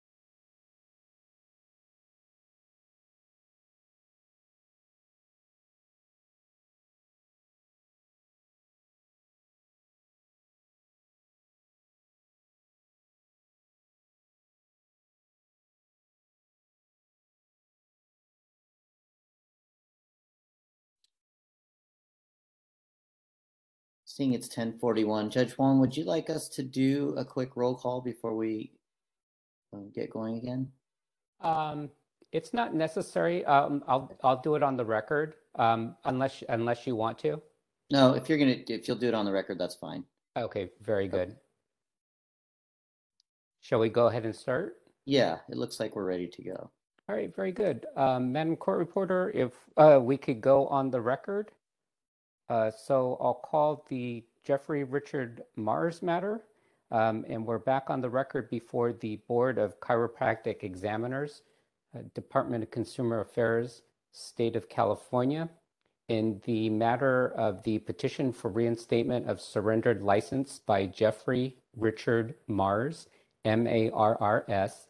It is agency case number AC 2013 957, and it is OAH number 2022090778. My name's Corin Wong, uh, and I'm a administrative law judge with the Office of Administrative Hearings, um, and I have been assigned to preside over this matter. Uh, to establish a quorum of the board for the record, I request that each member respond audibly after his or na- her name is called. Uh, Dr. Paris, Present. Dr. Adams, Present. uh, Mr. Sweet, Present. Ms. Cruz, Present? Dr. Daniels. Present. Let the record reflect that a quorum of the board is present. Uh, Next, if I may take the appearances of counsel, starting with uh, the Deputy Attorney General, please. Yes, uh, thank you, Your Honor. Uh, uh, Board members, uh, petitioner and counsel. Uh, This is Deputy Attorney General Jeff Stone, uh, appearing on behalf of the people of the state of California pursuant to Government Code Section 11522. Good morning. Um, Ginger Kelly, attorney for petitioner Jeffrey Mars. Great, Thank you. Um, And um, Ms. Kelly, uh, were you um, able to hear earlier when I kind of went over the procedural setup for the hearings? I was, Your Honor. Okay, and did you have any questions about that? I do not. Thank you. All right, and if any pop up, just let me know. Thank you so much. All right, so Mr. Stone, if you would like to um, provide your summary statement or documents, whichever you would like to do first. Uh, uh, Yes, uh, thank you, Your Honor. Um, As for uh, the documents, we have the uh, notice of hearing and the declaration of service. Uh, We have the um, continuing education log uh, prepared by board staff. And we have petitioner's application for reinstatement um, uh, and supporting documentation, which is at BCE 1 through BCE 169. And we have certified copies of petitioner's prior disciplinary documents on file with the board, and those are at uh, BCE 170 through 193. And those are the documents that we would like to submit uh, into evidence, Your Honor. All right, so I will mark the request to set as Exhibit 1. And then Exhibit 2 consists of the August 12, 2022 um, memorandum to the board, uh, the continuing education log, and the petition for reinstatement of revoked license and supporting documents. And then 3 consists of the decision and order, stipulated surrender of license and order, decision on petition for interim suspension order, accusation and order restricting practice as a chiropractor. And then four is um, a notice of hearing and memorandum to Mr. Stone. And then fifth uh, consists of petitioner's supplemental documents. Um, so first, Ms. Kelly, any objection to one um, and or four for jurisdictional purposes only? No objection. All right, those exhibits will be so admitted. And then, Ms. Kelly, any objection to two, three, and or five uh, for all purposes? No, no objection. And, and those exhibits will be so admitted. All right, Thank you. Mr. Stone, whenever you're ready. Um, uh, Thank you. And, and thank you for those supplemental documents. I do have those. Those are lab- Bates labeled 194 through uh, 200. Um, uh, The, the supplemental ethics boundaries plan. Thank you for that. Uh, Generally speaking, we have here um, petitioner uh, uh, Jeffrey Richard Mars on or about January 29th of 1996, the board issued Doctor of Chiropractic license number DC 24168 uh, to Mr. Mars. Uh, the license was surrendered to the board effective August 19th, 2016. Um, that uh, surrender was in relation to an underlying matter uh, in a decision and order in case number AC 2013-957, uh, which was effective August 19th, 2016. Uh, the accusation was filed on October 14th, 2015, and that accusation um, uh, set forth three causes for discipline. Those causes for discipline uh, were relating to criminal conviction for sexual battery pursuant to Business and Profession Code, uh, Section 490, and California Code of Regulations, Title 16, Section 317, uh, Subdivision G. Uh, the second cause for discipline was unprofessional conduct, uh, uh, engaging in conduct which endangers the health, welfare, and safety of the public. Uh, California Code of Regulations, Title 16, Section 317, Subdivision E, and unprofessional conduct, commission of acts of sexual misconduct with patients. Uh, that's Business and Profession Code 726 and California Code of Regulations, Title 16, Sections 316, Subdivisions C, and uh, 317, Subdivisions, uh, Subdivision M. Uh, the uh, underlying uh, discipline related to um, as I mentioned, criminal conviction and unprofessional conduct. Uh, the sexual battery in this case was uh, Penal Code Section 243.4, Subdivision E1. Um, it did relate to uh, two uh, patients, sexual battery of, of two patients, uh, while petitioner was a, a, doctor of chiropractic. Um, the records also indicate that um, in the underlying investigation, that uh, petitioner uh, told the officer that he had uh, sexual relations uh, in addition with the two victims mentioned with uh, six other uh, patients. the underlying action in the accusation there was an interim suspension order that was initially issued as well. in the underlying criminal matter, it did go to a trial by jury, and there was, as I mentioned, a uh, conviction. Uh, my understanding is that there was a six-month jail uh, sentence that was served under a general sentence of one year. Um, there have been, you'll see in the records, some diagnosis of petitioner uh, by a forensic psychologist uh, in relation to uh, diagnosis of sexual paraphilia and professional professional sexual uh, mitochondria. Um, and there's treatment uh, records that have been submitted uh, as well. Uh, there was cost recovery that was ordered in the matter in the amount of $5,585 uh, prior to the issuance of a newer reinstated license, and those costs have been paid to the board in full as of August 2nd, 2018. And we also have continuing education which has been provided, which is sufficient continuing education to fulfill the continuing education requirements for each year the license was surrendered. That's 2016 through 2022, consisting of 120, 124 hours of education, uh, 12 hours of ethics and 24 hours of, mandatory subject areas. Uh, and that is a summary of the uh, matter before us. Thank you. Thank you, Mr. Stone. Uh, Ms. Kelly, do you have any additional documents you wanted to have uh, marked? No, Your Honor. Okay, and did you have any witnesses other than um, Mr. Mars? No, just Mr. Mars. Okay, and uh, did you wish to call him at this time? Um, I would like to make a brief opening statement, if that's okay. Okay, whenever you're ready. Thank you very much. Um, Good morning. Um, my name is Ginger Kelly. I'm the attorney for um, Mr. Mars. Um, good morning, board members, Your Honor, and the Attorney General. Dr. Mars comes before this board today um, after nearly a decade elapsing of uh, from his conduct. And I can submit to you that Dr. Mars has exceptional rehabilitation and remorse. He voluntarily surrendered his license while working diligently for the past eight years on insight, counseling, and rehabilitation, which has been provided to all of you with his numerous documentation. I will acknowledge uh, front that this is a very, very serious case, and I'm not minimizing it in any way at all, and neither is Dr. Mars by anything that we we say in this hearing.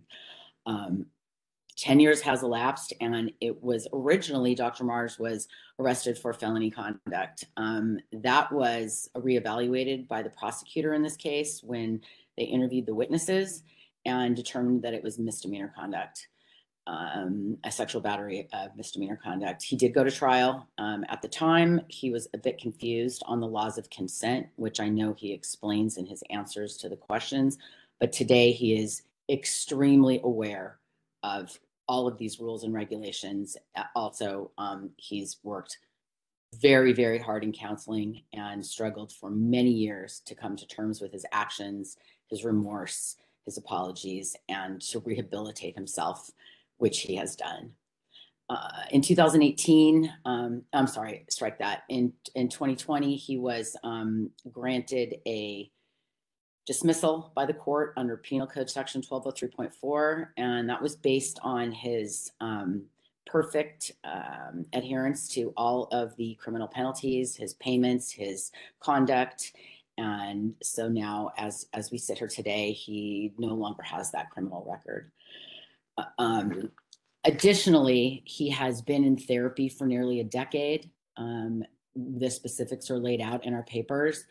Uh, he's commit. He's uh, been committed to numerous boundaries classes where he has developed um, immense insight to his actions, tools, and um, different skill sets in order to um, address his mental health issues, which he has done successfully. He has had counseling specific to the violations, and one of the most, um, I think. Um, amazing things that Dr. Mars has continued to do. He is the he has this man has the best attitude towards his rehabilitation.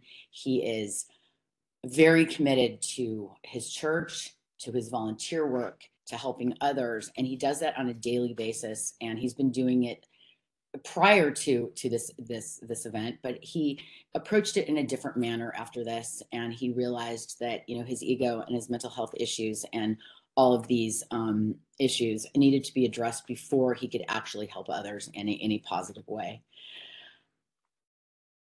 Understanding the main goal of, of the board is the health, safety, and welfare of the public. Um, we submit that once you hear Dr. Mars and review the packet, we would submit to you that you would find that he is entitled to, to receive his license back. And then I'd like to call um, Dr. Mars. Great, thank you. Um, Mr. Mars, if I could have you raise your right hand, please. Do you solemnly swear or affirm under penalty of perjury that the testimony you will provide in this matter will be the truth, the whole truth, and nothing but the truth? Yes, I do. Thank you. You may hit, put your hand down. Uh, if I could have you start by stating and spelling your full name for the record, please. Jeffrey Richard Mars, J E F F R E Y R A C H A R D M A R R S. Thank you. Ms. Kelly? Thank you very much, Your Honor. Good morning, Mr. Mars. How are you? Very well, thank you. And let me just start with this. How, how old are you today, Dr. Mars? 56. And where did you go to chiropractic school? I'm sorry, this is the reporter. I didn't hear your answer. I'm having trouble also. I apologize. I am 56 years old.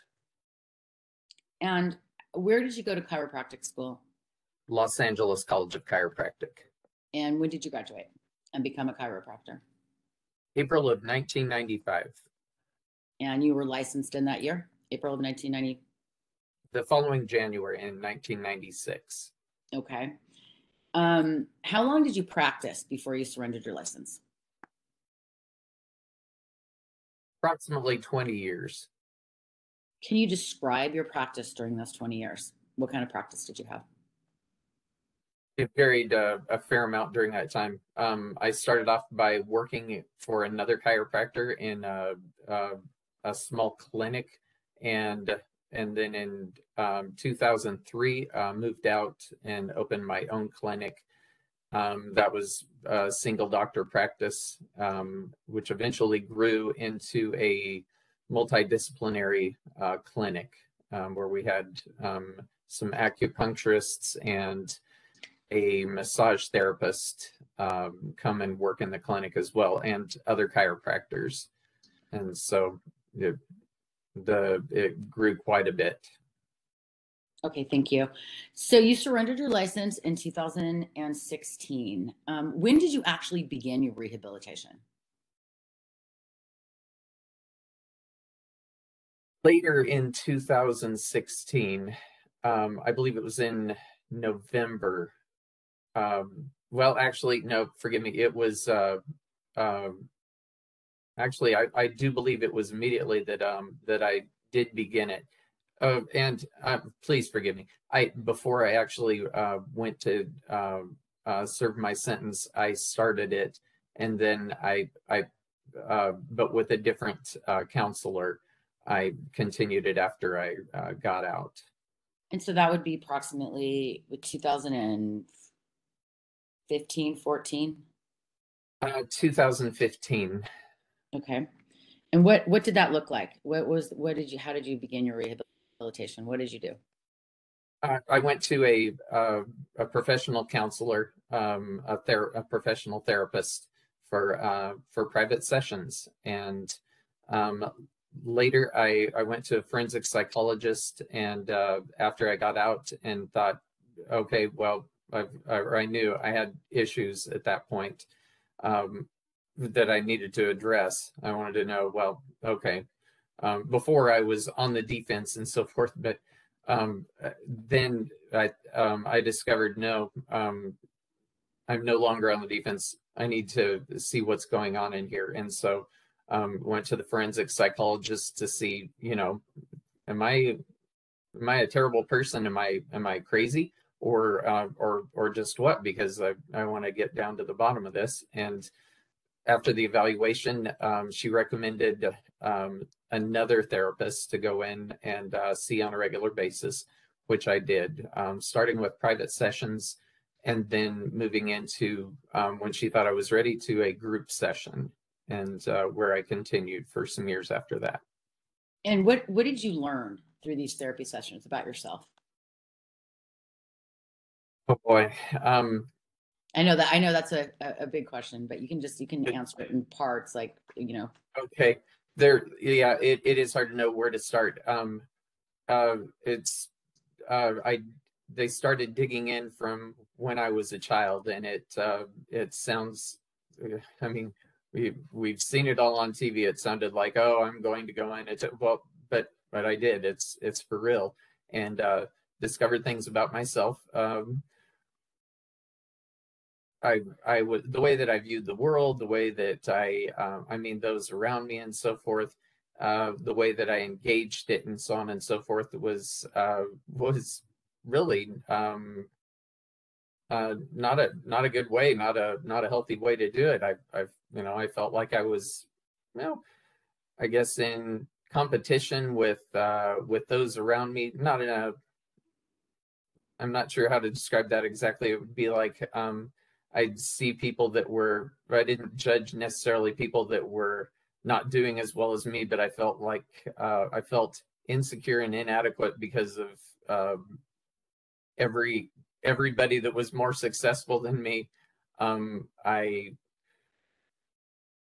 um, boy howdy i was passive aggressive i would uh, let people heap things on me because of my insecurities and my feeling of inadequacies and uh, and then i would um, become aggressive in you know passive aggressive ways and Okay. uh, so i learned to uh, i learned to become assertive which is an art that i you know uh, it's it's an art because because I don't want to be uh, I don't want to be aggressive, but neither do I want to be passive. Um, but uh, I was able to uh, discover and address some of the root issues that led to me um, feeling the way I did that uh, made it easier for me to act the way that I did. Um, I learned about uh, the rehab also included uh, going to a boundary seminar. Um, it's led by a psychologist uh, with Professional Boundaries Incorporated. Um, that's where I had been told about the fiduciary duty and uh, and what it meant, but I and I thought I understood it, but comparatively, I had no idea. Um, I I learned about it, uh, truly learned about it there, and that's when any defensiveness I I think that was left just went out the door. Um, I had uh, I learned that when I you know originally I I confessed to police immediately. Um, and I took full responsibility. I thought, at least verbally, I took full responsible for responsibility for everything that happened. I thought I was uh, doing really well and that I actually had, but uh, later I I fought like a um, like a banshee because um, I they I thought they were uh, um, exaggerating things because they said he pushed himself on these patients. And I and I you know I said to myself no I didn't. It was consensual. And uh, because I thought it was consensual. Well um, they were correct um, there is no such thing with a doctor patient relationship. Um, going through that discovery was uh, was enormous for me, and uh, so going through that uh, uh that regular uh, meeting process with a therapist and with uh, other men that had had similar violations, um, I can't think of much of an, really of any areas of my life that weren't impacted by it. So, okay. So let me let me let me let me uh, stop you there. So uh, areas of your life that weren't impacted by it. So how did this impact? Obviously, you're married. You're happily married. Is that right? Yes. And your wife yes, has stood by you during all of this. Is that correct? Yes, she has.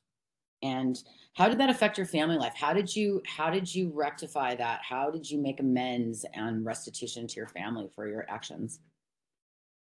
By throwing myself at their feet and doing anything they asked.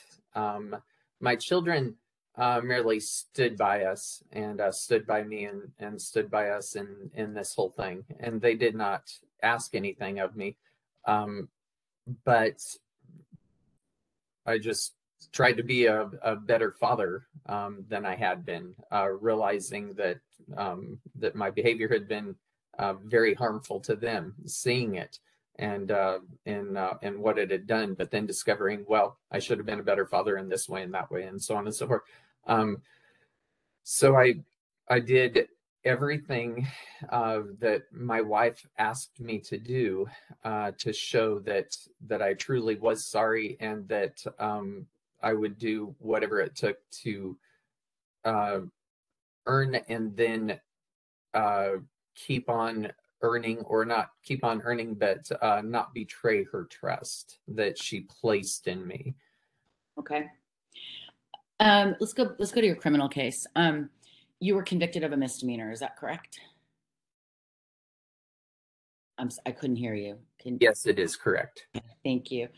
Um how, how how have you dealt with the harm that you've caused your patients? I mean, how, how have you dealt with that? And I know you answered that in your in, in the questions, but can you explain, you know, the remorse and the, what you've done about it? I wrote. Uh, I did not write a letter of apology to to directly apologize to them. I did not do that immediately because there, uh, when the the case first started, there was a restraining order, and so I could not contact them, and so I did not. But after I was released I did write letters of apology to them.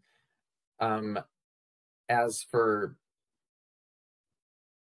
as for how I handled the dealing with it uh, for myself, if that's what you're asking, yeah. then I'm sorry. Yes. Yes. Uh, it was that was a, a load that I I didn't realize how heavy a load it was. It was um, it was a just a, a weight around my neck that uh, like an anchor that uh, kept me from going forward. It was it was really staggering. Um, I felt like uh, I was not supposed to be happy. I was not supposed to deserve anything, and uh, so on and so forth. Be- because Um, of what- because of what you did. because of what I did. Yes, it was crushing. It it uh um I had a friend who said one time he described something to me because I think he saw the weight that I uh, was under. And um, he said uh, he had a friend who had committed suicide, and he said I would never do that. But he said, but I've seen that door, and uh, and I thought that's a really good way to that's a really good way to put it. Um, I I'd seen that door and I would never do that, but it was it was that bad. And I had two people, uh, my father and a friend that was uh, close to me, come to me within a week of each other and tell me that I needed to set it aside and not live with it. Um, my dad just wanted me to be happy again, and uh, the friend said he'd like to see me happy, but it wasn't doing anyone around me any uh, any good for me to carry that with me, and so I I literally just had to set it aside, and it wasn't a once and done process. Um, I had I have to set it to the side in order to move forward uh, for uh, the sake of those around me and for my own sake too, because it's uh, not. I realize it's destructive and it's uh, it's not going to do uh, the victims or anyone else any good. And so I'm I'm not proud of what I did. I'm uh, I feel uh, terrible about it. It's difficult to talk about, and yet I have faced it, and I and I do face it. Um, and so that's that's how I've decided to handle it, and that's how I have been handling it. Do you think that therapy has has helped you, and in what way? Oh, it it really is hard to it's hard to say how it hasn't helped me um in engaging with the world i used to um again just swallow everything and uh you know be be a doormat. And uh but then um but it uh it that didn't i thought it was uh the way you were supposed to be. You're just you know supposed to be nice and uh and take things. Um i don't think that that's i don't think that's the case at all. You're you know i mean you're not supposed to you know uh, demand your way everywhere you go but neither are you going to do the person you're um that you're with any good by by being passive and letting them overstep boundaries that you should have. So so i now have boundaries around me and so that uh and it's I, I think it's in all my relationships really where um I can I can be assertive and comfortable with it at this point. And that took a while to get there, but uh, when I discovered that I needed to do that, it it has changed the way that uh, oh, and the way that I I see the people around me. I can now be confident in myself and and just be happy for somebody else who's more successful than I am. And uh, world's too big a place uh, to be in competition with everyone. And so, um, so, but it's a lot more uh, uh, healthy um, to be everyone's. You're, you're not uh, to not to view it as uh, a contest like that fellow is uh, taller, better looking, more intelligent, more successful, or whatever, but rather to um, just be happy for them and say, you know, I'm I'm very pleased, very satisfied with where I am as well. So I'm happy for both of us. We can all win. It seems like you've done a lot of work in um, therapy and all of the all of these seminars that you've attended in order to address your issues. So I commend you. Um, you described earlier that you developed some valuable insight about patients being able to consent. Can you can you explain that? Yes. Um, before I thought that um, if you were with another adult, um, I knew that it was wrong to um, have relations um, away other than those with my wife. Um, but I thought I considered them affairs, which are still bad, but I I didn't realize that they cannot consent. Um, it's impossible because of the power differential. And I eschewed the the power differential, thinking, well, I don't want to act like I'm better than people. Let's all let's be. I don't know if egalitarian is the word for it, but um, we can be on an on an equal level playing field. Well, that's that's harmful to the patient, and uh, and so I didn't realize that. So I would embrace that, and uh, and I and I do where it's appropriate now. With uh, although I'm not in a fiduciary. Uh, uh, I don't have a fiduciary duty to to those that I work with now. I mean, other uh, other adults and forth, but um, but I still uh, embrace that as helpful to the relationship uh, of a between a doctor and a patient. And uh, there's there's nothing to eschew. I I'm, I embrace that philosophy because I, I see it as entirely um, entirely entirely for the uh, the patient's benefit. And so that was that was real eye opener. Okay. Um, in the papers that that you filed, uh, you describe a lot of community service that you do. Can you can you uh, elaborate a little bit on what you've done for the past eight or nine years, community service wise?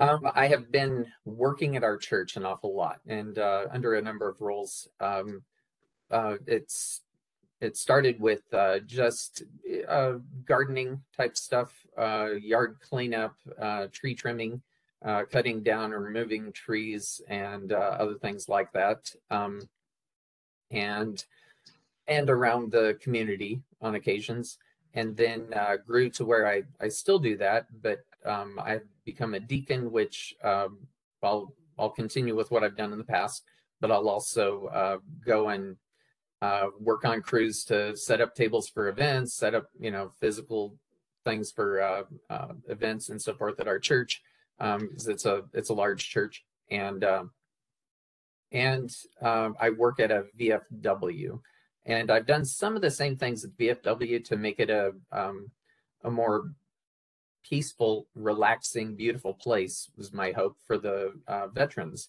And What's so, sorry, let me, let me stop you. What's VFW? Oh, uh, veterans of foreign wars. They have posts around the country, and uh, we have a lot of uh, aging veterans there. Um, the oldest was in the Korean War at this point. Um, my father uh, went there. We started taking him there, and uh, he became a member. And uh, my wife and I became lifetime members of the auxiliary. Um, and we've donated some to the post. Um, I had a friend bring a tractor in and do some uh, do some work to prepare for some trees and we planted some trees in the back so that it would make a, a nice little garden spot just for you know for the um, vets to enjoy and uh, and have a place to kind of escape from uh, things you might say and uh, and recharge their batteries and then um, we began working in the kitchen uh, just you know, serving tables and so forth. But now um, every, uh, you know, two Wednesdays, two or three Wednesdays a month, um, we go down and uh, and cook uh, tacos and uh, and make dinner for the the veterans as well. And with your service with the veterans, is um, one of your plans, if you're reinstated, is to is was to provide pro bono services to them. Can can you explain that a little bit?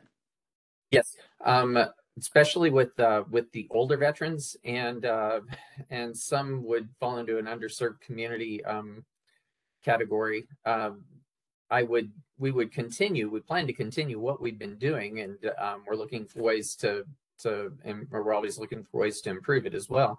Um, but I would see them in in the office, and I would provide um, uh, services to them in an office setting uh, to those that free of charge? free of charge so that they uh, so that they are are better served. Okay, um, let's talk about your chaperone policy that we submitted. Tell me, tell me how that that was initiated, when it was initiated, and and uh, how it went for the time that it was in place. Um, another doctor who had a chaperone policy um, shared with me what he had done, and and uh, we instituted it back in I believe it's 2012. We uh, we did it immediately after the um, after the accusations, and um, and I did it for the remainder of my time uh, seeing patients for the next three years. And so you saw patients for three years after the accusations using utilizing the chaperone policy. I, I did continue seeing patients on a regular basis and, uh, that went on for over three years. Uh, yes, and I had, um, I had, I always had a chaperone with me. Um, the the chaperone was trained. They knew what had happened. They knew um, of the of the charges uh, against me, and uh, they knew uh, to watch for any behavior that would be um, that would be harmful to a patient or uh, harmful or inappropriate in any way, shape, or form. And Okay. so, Okay, that's another question that I have. Let me just back up for a second. Um, the knowledge that others have. So does your church, your, is your church been made aware of your actions and your convictions? oh yes, yes. Uh, Uh, what about the veterans? painfully aware and uh, the veterans as well. The uh, commander of the post is uh, he just retired. Um, he's uh, a CHP officer, and so um, he's very aware. And uh, and so yes, And these people, and these people are all willing to give you another chance to prove yourself. Yes. Um, in fact, I was um, I was restored by our elder board um, last year uh, completely, and they went through and uh, and and I told multiple pastors because it's been going on for quite a while, and so I told each of our pastors during that time, uh, four different occasions, about what had happened, and this last time, uh, the pastor and um, all of the elders as well, and uh, after which um, they they gave me a it's there's even a letter about a full restoration, so. Okay, thank you very much. So talk, let's talk about your employment since you surrendered your license in 2016. Can you describe what you've done and how you've kept up with chiropractic practices? Um, the occupations have varied a little bit for a while. Um, I, I immediately started, uh, I, I went back to carpet installations and um, repairs, uh, advertised on Craigslist and, uh, and picked up any odd jobs that I could. And um, I tried uh, doing some voiceovers for a while, but uh, starved doing that. And so I, I that that didn't work too well for me but um but i continued with construction type work. And um, i have a sister who is a real estate broker and um, i started working with her on purchasing properties and rehabilitating them. Uh, re- we've done some remodels. I've done lots of construction work with that picked up some new skills um, some some uh, tools that I had never used and uh, and have gone to town on some properties. We own a couple of rentals and um, and I've uh, remodeled, mm, partially remodeled both of those and uh, and other houses. Um, we just purchased another piece of real estate uh, that needs uh, remodeling, and we're about to start that process. So Okay. that's that's been keeping me uh, pretty busy.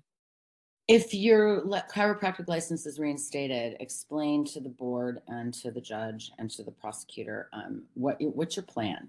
What do you, what do you plan to do? I understand you're going to help the veterans and you're going to do some pro bono work, but what would be your plan for a practice? the the plan would be um, to return to practice with not only a chaperone but with because the the people that know me and uh, uh, the people uh, the my my family um, my friends my uh, those at the VFW and and at church the ones that I work with they trust me but no one here other than you knows me and so you can't I know you can't just take my word for it um, that I would uh, do well and that the public would be um, protected. And so um, to have oversight, I would, uh, that's why um, we put together through uh, professional boundaries, put together that, um, that boundary protection plan where it is verifiable. It would, I would be under um, tremendous scrutiny. And Yes. so that, um, so that I would return to practice with those um, those protections for the public in place. Okay. And so, Um, and you, uh, would submit if the board were to, um, set forth any conditions such as, uh, probation or working for a mentor or having a supervisor of your practice or taking numerous difficult tests, you're uh, are willing to abide by anything that the board feels is appropriate. Anything that the, the board wishes me to do, I would do. Thank you, Dr. Mars. I have nothing further. Mr. Stone, cross-examination.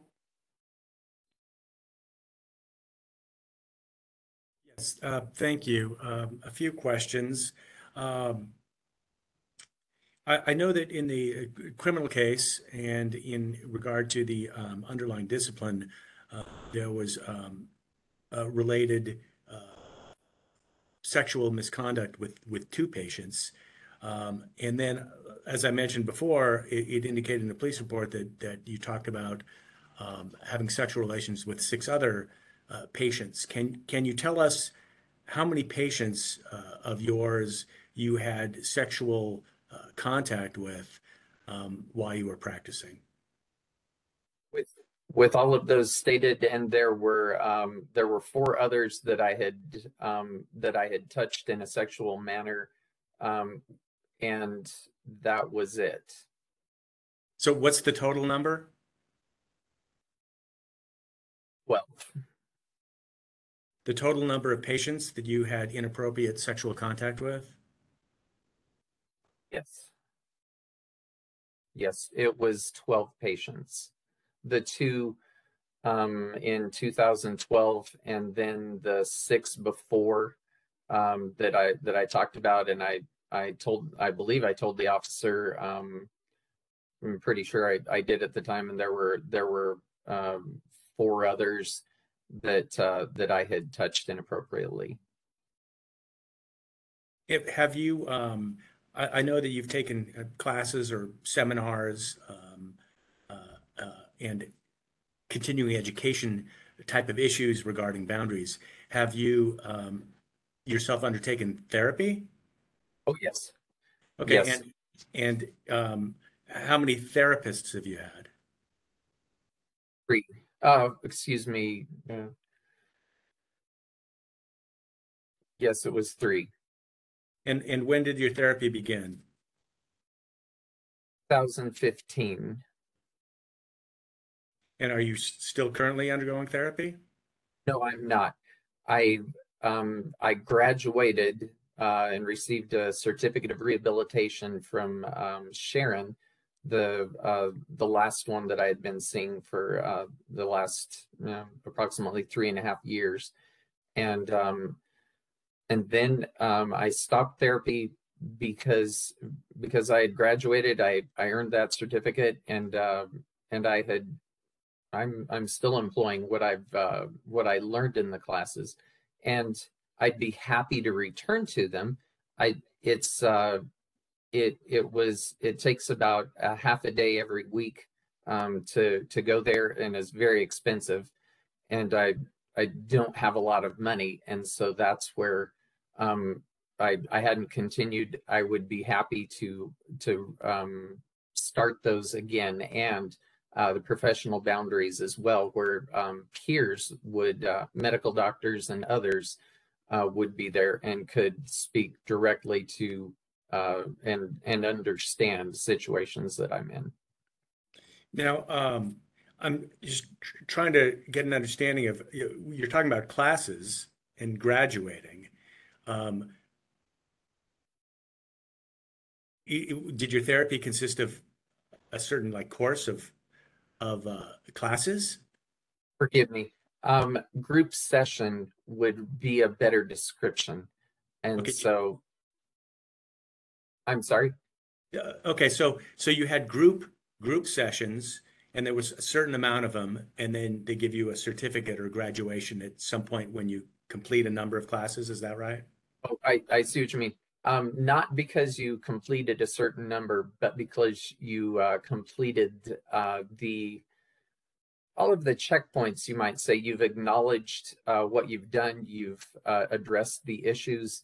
Um, you've uh, you you couldn't simply uh, you've you've uh, put into practice uh, what you've learned, and so you couldn't just show up and uh, graduate. Um, in fact, a fair number of people started the class or um, forgive me the the sessions with us and uh, and then they didn't show up again. And uh, after after a while, because they were not truly engaged, they weren't participating. They were dodging the issue or or whatever. And so only if you had uh, satisfied the uh, conditions of the sessions um, and the and uh, the uh, therapist believed that you were sincere in um, in what you were telling her, uh, would you receive this certificate? And and com- oh yes, and complete all of the lessons um, and complete the the training. Um, did you, uh, have you undertaken, um, individual therapy? Yes. Um, part of the time that I was with Sharon, it was uh, it was individual, and uh, and I did meet with her individually at times while I was taking the group sessions. Um, even during the group sessions, it was um, uh, it was mandatory that you uh, that you speak with uh, her and the others around you every single time, and uh, and so it was at first I thought it was going to be uh, a disadvantage to be in a group session, but um, I actually found it after having gone through the things that were just personal to me and so forth. I found it to be advantageous. Um, I I think it's kind of unique the way that uh, she runs the classes. Um, she uh, she it uh, people came in from other uh, group sessions and said, "Wow, there's I've I've never seen anything like this." uh, I was told by the guys and, that were there, and I saw it was the case. This was the A group. This was um, she put people in there that she believed only if she believed that they were truly serious about um, rehabilitation, and so she saw that I was, and and uh, and I I stayed true to it, and uh, and did finish it all. Uh, were all of the people in the groups, uh, people who had, um, uh, been in uh, professional uh, relationships where they um, abused others in a sexual manner? Not all of them. Some of them were be, they were other areas where it was some professionals, one other chiropractor, um, and one where it was, or, or some where they the victim was underaged and so unable to give consent. Uh, a- approximately how many individual sessions have you had at therapy?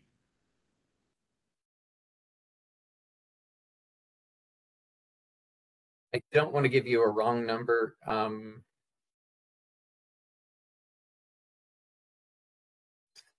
I'm guessing around 20 or 25. And were these all with, uh, you mentioned Sharon, Uh, what's the name of your therapist? Uh, Your past therapist? uh, Sharon and Sharon. uh, Sharon Murphy, forgive me, yes, in uh, Vista, California. Have, have you had any other individual therapy with uh, any other therapist? Yes, uh, I had some with Ken Foster in uh, 2015, and uh, and then um, some sessions with um, Victoria Thomas, who the forensic psychologist in uh, Orange County. Uh, And those were all how- private. And approximately how many therapy sessions did you have with uh, Ken Foster? Probably only about five because uh, then I began serving my sentence. And then you mentioned another therapist uh, other than Murphy and Foster. Who was that therapist? Victoria Thomas. And approximately how many individual sessions did you have with Victoria Thomas? My sessions with her were mainly for testing, and uh, I believe I saw her uh, three times, was all. Uh, have you ever been diagnosed with any type of uh, uh, condition or or anything else in relation to your conduct? I mean, other than what uh, uh, Dr. Thomas um, uh, diagnosed. And what did Dr. Thomas diagnose? Uh, sexual paraphilia. And what is that? It's uh, a love of um, or uh, uh, gravitation toward and love of uh, sexual um, paraphernalia, looking at pornography is the is the main thing I remember from that. And um, I think that you've, uh, for lack of a better word, I suppose, d- described the uh, sexual relations you had with your your patients, about a dozen of them, um, as affairs. I that's the way I originally thought of them, but I know that that's not the case at all. It's uh I guess I wouldn't say the furthest thing from it because there's similarities, but there's uh um but it, they cannot have affairs. Patients cannot have affairs. It was an abuse of a of a fiduciary duty and the doctor patient relationship. They were not affairs. They were definitely not affairs. Um, they were uh, they were sexual battery against uh, patients that uh, people that could not consent even if they wanted to. During uh, the time frame that you had those uh, relations with patients were you have did you have uh, sexual relations uh, with anyone outside of your marriage other than patients? No i did not. Um, so all of your uh, sexual misconduct so to speak affairs or however you want to reach refer to them at the time or now were all um, with uh, people who were under your chiropractic care? That's correct. Yes. And since you've um, since uh, your license was uh, surrendered, uh, you have not had uh, any professional relationship with anyone else. You've you've worked and had done work, but you have not found yourself in a in a, a professional relationship since that time. Correct? That is correct. I have not. And and why do you think that um, at this juncture um, you won't pose a threat to your patients uh, as you did before? I've uh, I have addressed that is a that is a very good question. I have addressed um, the issues to the best of my knowledge um, and to the best of the knowledge of uh, my therapist uh, that led me to that uh, place. The the um the the feelings of insecurity and inadequacy and um really uh, I've done I don't I don't really recognize myself much compared to the person that I was before. Um, I don't engage people, even in my family, uh, the same as I used to, and uh, it's and so I really am. Uh, I feel like I'm I'm a different person, and um, if but I know you can't depend on on just that or just my word, and so that's where um, through professional boundaries because they they brought that up. You you know why would uh, anyone trust you to go back into practice? And that's where um, so if if someone isn't honest, they'll sit here and tell you the same things that I am. And so, so why give them their license back? And it's um, because um, I couldn't be trustworthy because you could put me under intense scrutiny. And so that if even if I wanted to, I wouldn't be able to um, to offend or or harm anyone without your knowledge. And so um, so the public could be protected that way. Uh, you mean by having a chaperone? Having a chaperone, having uh, an open adjusting area to where um, not only the chaperone, but anyone else who's in the office can see everything that's going on. Um, another thing I've learned since um, having the chaperone policy and everything else is it's legal to put video cameras in practice. There are chiropractors who do and who uh, teach how to put that in there in a legal manner in which the patients are fully aware of it, um, where they sign off on it literally. And so, um, so from a, a variety of directions, oh, and, uh, and ask the patients, petition them on a regular basis um, how, are you being treated uh, in a professional and respectful manner, and uh, and have those things available for the board to um, to look at at any time, and so that they can uh, you can see is anything going on? Is uh, is there any any problem here whatsoever, and so that that's that's visible, and so from uh, that's where uh, professional boundaries they came up with a stratified professional boundary plan. So it's multiple levels multiple that's spread out over a great area.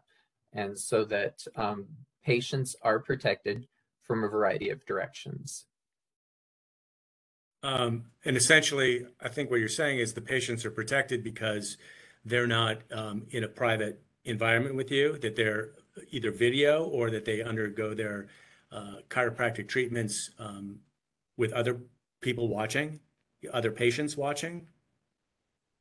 Yes, other patients, but but a professional, professionally trained chaperone, and so um, so the patient would not be alone. It would be not, and I I wouldn't depend. I wouldn't put an onus on other patients. It would just be, you know, there there are more eyes um, uh, there to see you, and so um, to not place any pressure on any patient. Um, there are also the the video cameras that would uh, that would be recording everything, and then I would merely never practice in any way, shape, or form anywhere but there under camera, um, under uh, your, I mean, whatever you tell me to do, I would do. But um, that I thought was a um, a very it seemed to me anyway i'm open to anything else but um, a very comprehensive list of things to uh, protect patients so that you're not depending on anyone's word Uh, now, you mentioned professional chaperone or chaperone with professional training. Um, you said that you uh, practiced for uh, several years uh, with a chaperone. Is that right? yes Was that a professionally trained chaperone? it was, they were trained by my office they were uh, we told them what was going on and so forth we did not know about professional boundaries incorporated at that point and so um, i would uh, i would send the uh, chaperone to uh, to be trained uh, to receive training by uh, um, pbi professional boundaries incorporated and um, and then anything that uh, you wanted us to to train them with we would be more than open, actually anxious to do anything that you wanted us to do. Well, when when you practiced with a chaperone, um, that was a chaperone that was your employee, Yes. a chaperone that you trained. Yes. Now, uh, I, I think you you described um, a few things about yourself that you feel sort of uh, led you to, or you, you know, were, were were a part of you that that that led to um, your misconduct. And I think you described it as um, things in your past, like being a doormat, that you would take things, that you were passive, you would let others overstep their boundaries. Is that right? Uh, much of it, uh, not necessarily. Oh, take things. Forgive me. Yes, that was part of what led to it. Yes. Your passivity, your your being a doormat, you're letting other people overstep your boundaries. You feel led to this. Um, actually, uh, it was a contributing factor. Yes. Well, what I'm trying to understand is is you describe the things that that that, that uh, led you to this behavior as being a doormat or you taking things that you shouldn't, being passive and letting others overstep their boundaries.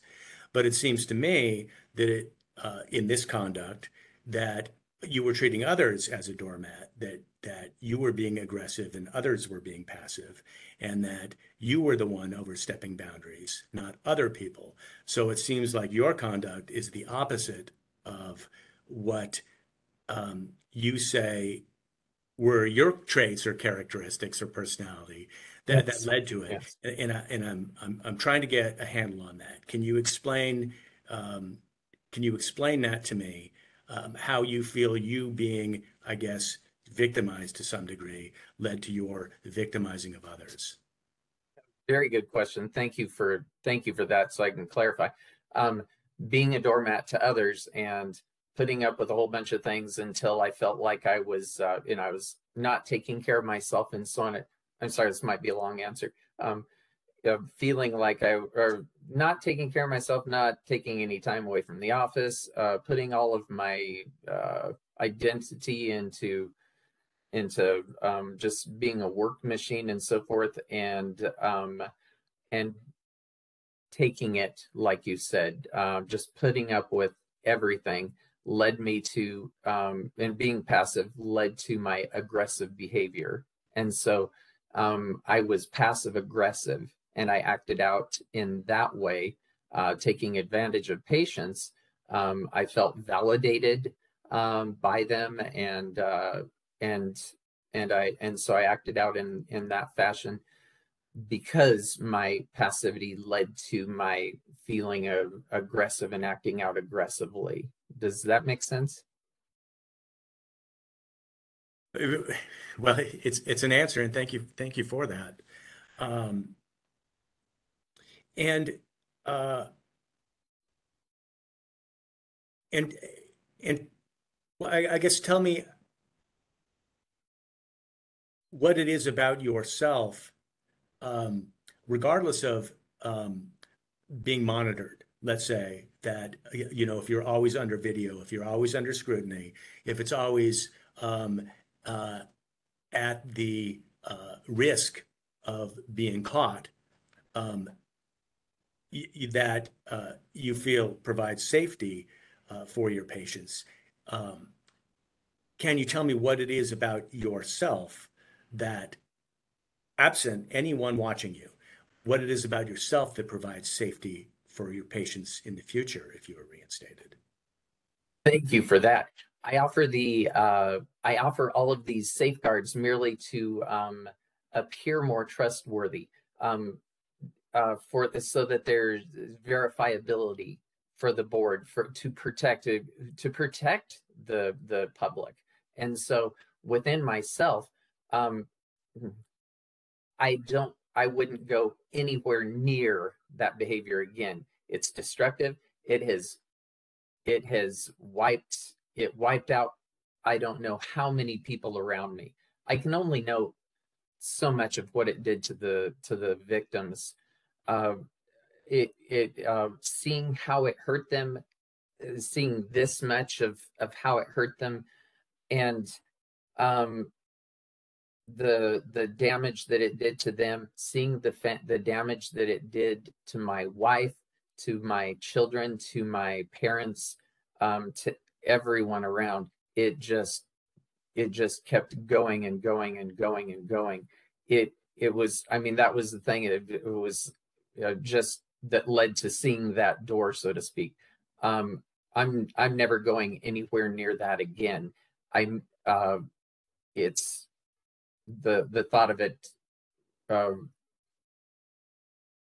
the thought of it for lack of a better term really would freak me out and so i am um, so there have been those changes in me i don't think that's a complete summary but there have been those changes in me i offer all of these other things just to show um, so that actually i can verify uh, to you i am completely serious about the changes that have taken place in me, I could go anywhere and uh, and adjust someone without scrutiny and want absolutely nothing to do with anything but a doctor-patient relationship that's completely above board. And so, and work on people and and help them and and uh, and affect them in ways that only chiropractors can. And uh, and and see all of the good and do all of the good that um, that chiropractors can do. Um, there are all the good things that I would want to do, and um, that I, I fell back in love with what I did in those last few years, and I would love to see that again. Um, but it's not for me; it would be for the public. Um, the uh, and so I believe that I uh, I would be perfectly safe going into practice um, without scrutiny. Um, however, uh, so that everyone, including the patient, can feel safe, I would um, I would want safe those safeguards in place so that they can see them and uh, and put them at ease. And um, again, the verifiability, so that you don't have to just trust someone at their word. Uh, and how long were you uh, practicing as a doctor of chiropractic? Approximately 20 years. And do you have any uh, letters of reference or support from any of your prior patients? Uh, yes, actually. Um, uh, I didn't, I got some immediately after the conviction, actually. And I did not go back to them and ask for this. I, I haven't told, I've told very few people. Um, my wife, uh, my children know that I'm here. Um, I did not um, trumpet this, nor did I uh, want to ask them for for help um, and, and writing any letters. I would be happy to ask people and um, I I could get a, a stack of letters for you if it would be helpful. My church, uh, there actually there are some letters of uh, recommendation throughout the um, throughout the uh, the exhibits through somewhere in here. I'm not sure where they are. Um, letters of uh, affirmation from um, from people at our church, uh, a couple from the VFW talking about um, my service there, uh, but I haven't gone after anything new. Okay, but but nothing from chiropractors, practitioners, or uh, uh, or former patients. Uh, nothing. Yes, uh, but they're uh, they're several years old. But nothing submitted in support of your petition. No, no, there is not. I, I would be happy to provide you those uh, old letters. If it would, uh, if if you want them, I would be more than uh, happy. I I have them in my records to provide them to you. Or or and and uh, get new ones. And so because I can, I'm very confident I could provide you many of those.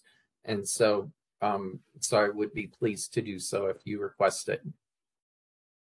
I don't have any further questions. Thank you. Ms. Kelly, anything on redirect?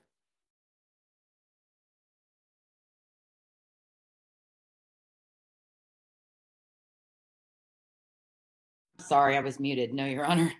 All right. Um, so I'll check with the board for any questions. Um, Dr. Paris, any questions? Uh, Yes, I do have a, a few questions. Um, first of all, thank you, Mr. Marsh, for being here today. And, um, I want to applaud your, uh, you know, all your efforts in rehabilitation. And clearly you've thought about this a lot and made a lot of effort to, um, you know, of, of your own accord, um, to, to, uh, provide some patient safety. Um, I, I have a, I, I do have a couple questions about something that I don't think was brought up and maybe not considered here yet. Um, and I was wondering when they mentioned the uh, previous patients, um, you, you mentioned a decade ago or so from when you were interviewed by the, I believe it was the police officers, or was that a, a board investigator, police officers? Um, I was wondering, could, would you, at this time or at that time, did you still have the ability to I to self-identify those patients? Like, could you think of those situations and who those people were? Yes, I could. And and to this day, I could at the time, although I couldn't come up with them during the interview with the policeman. Um, I was able to afterwards, and um, I I don't know that I could find them. I haven't seen any of them for years. That uh, that I would be able to. Um, I believe that I could. I can come up with some. I can probably come up with all of them. It's yeah. Pretty painful and it's uh, something that I, I didn't want to um, bring to mind a lot. And so I can't, I probably could not enumerate them for you at this moment, but I would enumerate those if you so desire. Sure. Um, and I'm, I'm wondering, are you planning to reopen your practice? Are you in the same general area uh, where the violations occurred? Yes, I live in the the same town, uh, the same valley. Um, I I did not move, and so I would not open here. I would go. I would uh, commute somewhere else, and uh, where um, where I'm not known, and where it would um, I would it would be completely new. Um, and so I, are you aware that, that there's, there's no statute of limitations on a, a patient's um, right to file a complaint with the board? Yes, I am. And um, are, are you aware of California Code Regulation 314 that makes it, it makes it the duty of every licensee to report violations um, of the act or regulations um, to the board or to the executive officer? I am I am not uh, presently aware of that. No. Ha- had you ever considered, um, based on based on that, had you ever considered self-reporting your violations that you admitted to to the board? I know you admitted them to law enforcement, but had you ever considered bringing that to the board? I don't recall at the moment. If it did, I was probably just too scared to do so. Um, I don't remember uh, whether I considered that or not. I'm sorry, doctor. Um, okay, I have I have no further questions. Thank you.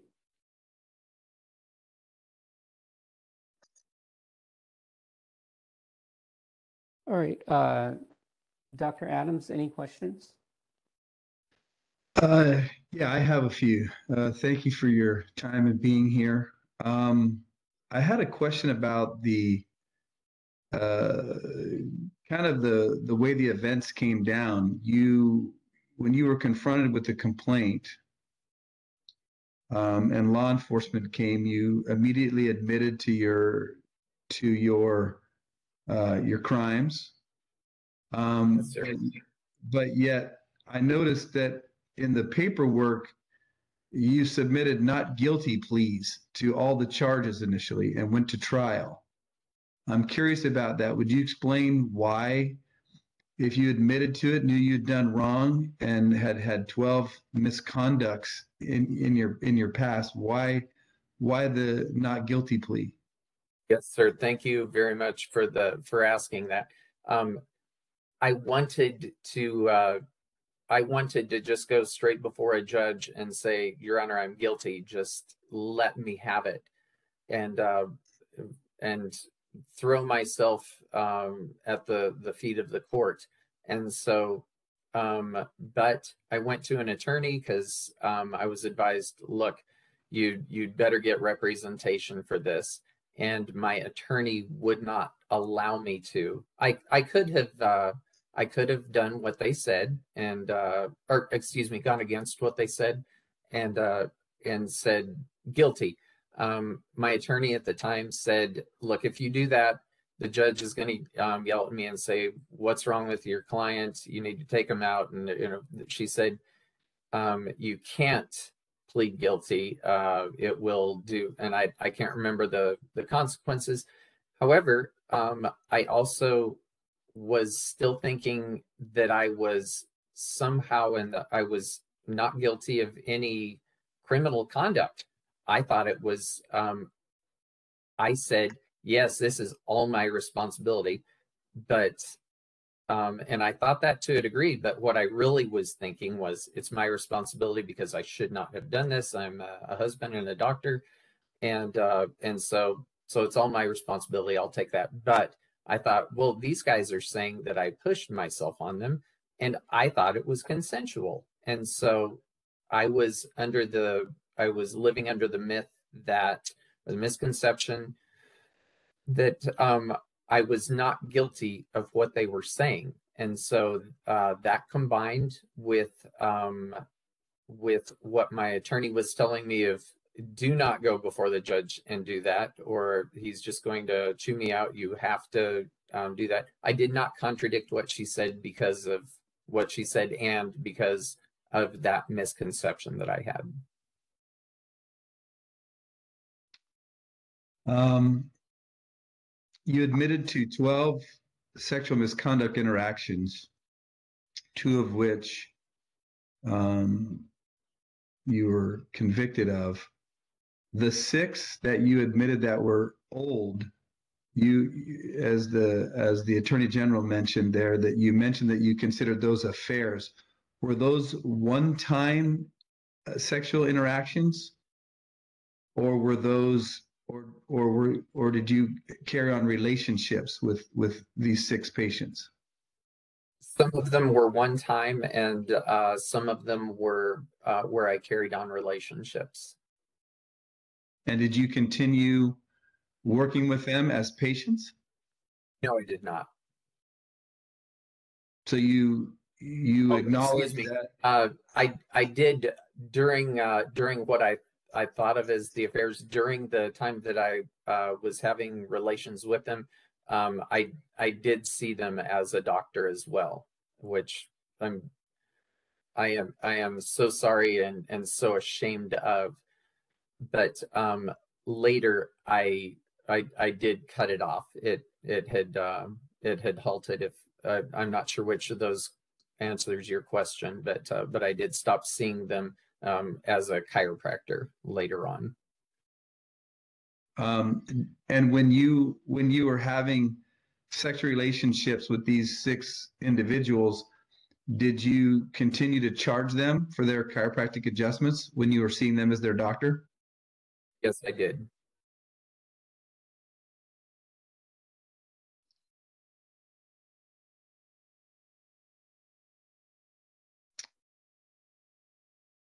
Um, one other question. This may seem an odd question to ask, but um, do you ever travel alone for vacations?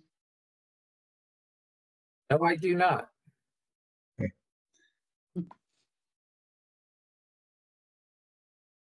One other question. It comes from uh, BCE, uh, page uh, BCE 000044. Uh, you you state in your in your um, written testimony here that uh, in addition to my own personal insecurities, I was living with the crushing weight of the guilt and shame over the old sexual boundary violations that I had committed 10 plus years prior. Counterintuitive as it was, I ended up returning to them in an effort to escape from my troubles. Can you explain what you mean by that? Escape from your troubles. Um, it gave me a, a- literally a release uh, t- from uh, from the my uh, my own problems, my own uh, feelings of insecurity and so forth, to be validated by uh, by these patients. Um, and so um, it provided a mental escape. And so um, I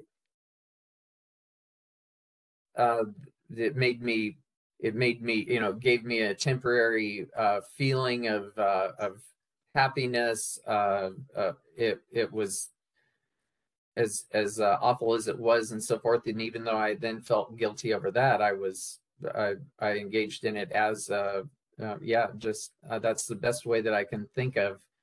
And presently, it's the only way I can think of to describe the uh, the feeling that came um, that caused me to want to uh, to escape from all the all the pressure, all the grown up pressure that you uh, that you should just face like an adult and uh, like I do face like an adult now, rather than running from it. Does, And my does that final- answer your? Yeah, fi- yeah. My final question is um, uh, is um, how are you keeping your skills sharp?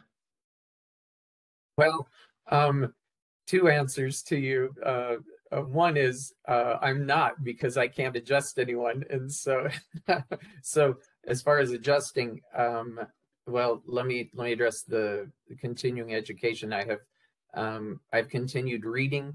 Um, I talk with other chiropractors. Uh, I've gone to um, there were 124 hours, I believe, that were uh, required of continuing education, and I've I've taken about 180 hours, I believe, that I that I got credit for. I've actually taken about half again as much, or one and a half times as much as as was required.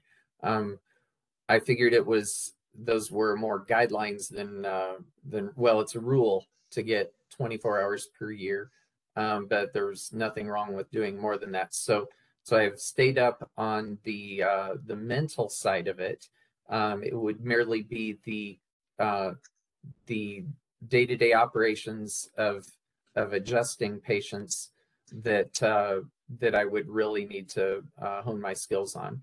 And what I was uh, a plan I had, at least in my mind, was I would not return into regular practice immediately, but um, but upon uh, receiving my license, if I were to, um, if you were to see fit to do that, I would start by uh, using my family as guinea pigs, uh, just like during chiropractic college, and uh, and start adjusting them, and uh, and then um, down the road when uh, when ready, re- go ahead and return to um, seeing the public. Thank you. I have no other questions. Uh, Mr. Sweet, any questions? Yes, Your Honor, just a few questions. Um, good morning. Uh, I did hear some mention of, I, believe it was your counsel that mentioned uh, boundaries classes. Can can you elaborate on that a little bit on what those consisted of? Yes, they were um, they were through the University of uh, UCI, University in uh, Irvine, and uh, a um, they were they coordinated with that school to to bring seminars in Southern California to go all around the country. Um, it is led by um, they are weekend classes and uh, therapy sessions and uh, classes and therapy sessions um, all weekend long and uh, and followed by um, um, accountability seminars that are conducted over the telephone and uh, with a group call, um, weekly group calls. And in the um, in the there is work that is done ahead of the class where you are um, there is material to be read, um, such as at personal risk, which is a an excellent excellent educational uh, piece, and uh, and some other material, and then go into the uh, seminar, the uh, group class uh, through the weekend and uh, and then that was uh, that was mainly it through the uh, oh and they they have um, uh, available online they have a tremendous amount of um, ongoing educational materials. Uh, it is run by a psychologist um, who used to practice in Florida, had a boundary violation himself, and uh, was unable to uh, continue practice. And so he turned everything that he learned through that experience into um, an opportunity to teach other uh, professionals um, about how to um, recognize boundaries, um, how not to not to approach them, and uh, know where the know, know where the boundaries are um, know why they're there, and uh, and then you can uh, then you're armed to uh, uh, not come near them again in the future. And so um, it was a, I believe it was the most professional seminar that I've ever been to, and uh, and uh, because the amount of material that uh, that I, I learned from this, at, at, least in this capacity. I've been to a lot of good seminars. I'm not sure if I, I give it that moniker or not, but um, but because of the amount of material, the professionalism with which it was presented, and um, and the follow up that's available, um, it was very comprehensive. And oh, by the way, I did uh, go to those weekend seminars uh, twice, two different occasions, um, a few years apart. Um, it's very expensive and so um, their and their weekly calls are are quite expensive as well. And so if uh, if granted, if and when granted my license back, I would resume those no matter what the cost. Uh, the reason that I haven't continued them is I'm not living in that context uh, right now. I, you know, I'm not seeing patients at all, and so um, I, I really didn't have anything, especially after completing the uh, uh, the therapy that I had. I I didn't have anything new to share with them, and and it was a financial uh, enough of a financial burden that I didn't continue it. I would uh, I would start those again um, in a heartbeat at your uh, at your request. Thank you. And um, I think you also touched on this as well, but I, I want to just allow you to fully explain it. But you mentioned a boundary protection plan. Um, what would that boundary protection plan consist of? It would um, a, a number of things. Um, not changes to an office. Uh, there is no office. Um, but uh, I would set up an office in such a way that there would be no private rooms. And so um, my last few years of practice, I had private rooms. I just kept the uh, the um, chaperone there. Um, I would have a chaperone again, uh, better trained. Although the ones that we did train with the direction of uh, of a medical doctor friend who um, who had uh, who offered a tremendous amount of help to us. Um, that was that was good. It um, they would have that training and more, and uh, so through uh, PBI, um, Professional Boundaries Incorporated. Um, so we'd have physical changes to the office where there would not be private areas. Um, the uh, the there would be video cameras inside, so that uh, with again so that and and uh, I believe uh, I got that from um, doctors Yamamoto and Meyer at uh, at some seminars I took of theirs, um, where they have the forms for patients to to um, uh, agree to and sign. Um, they've gone through. You've you've already uh, gone through those. Uh, Dr. Yamamoto did appear before you with his plans. I'm I'm pretty sure. Uh, at least he spoke of that in his seminars um, there would be so there'd be the video monitoring there would be um, the patients filling out um, paperwork um, anonymously uh, telling whether or or not um, whichever you would like um, telling if uh, you whether they've been uh, treated in a professional manner or not. They would uh, let's see.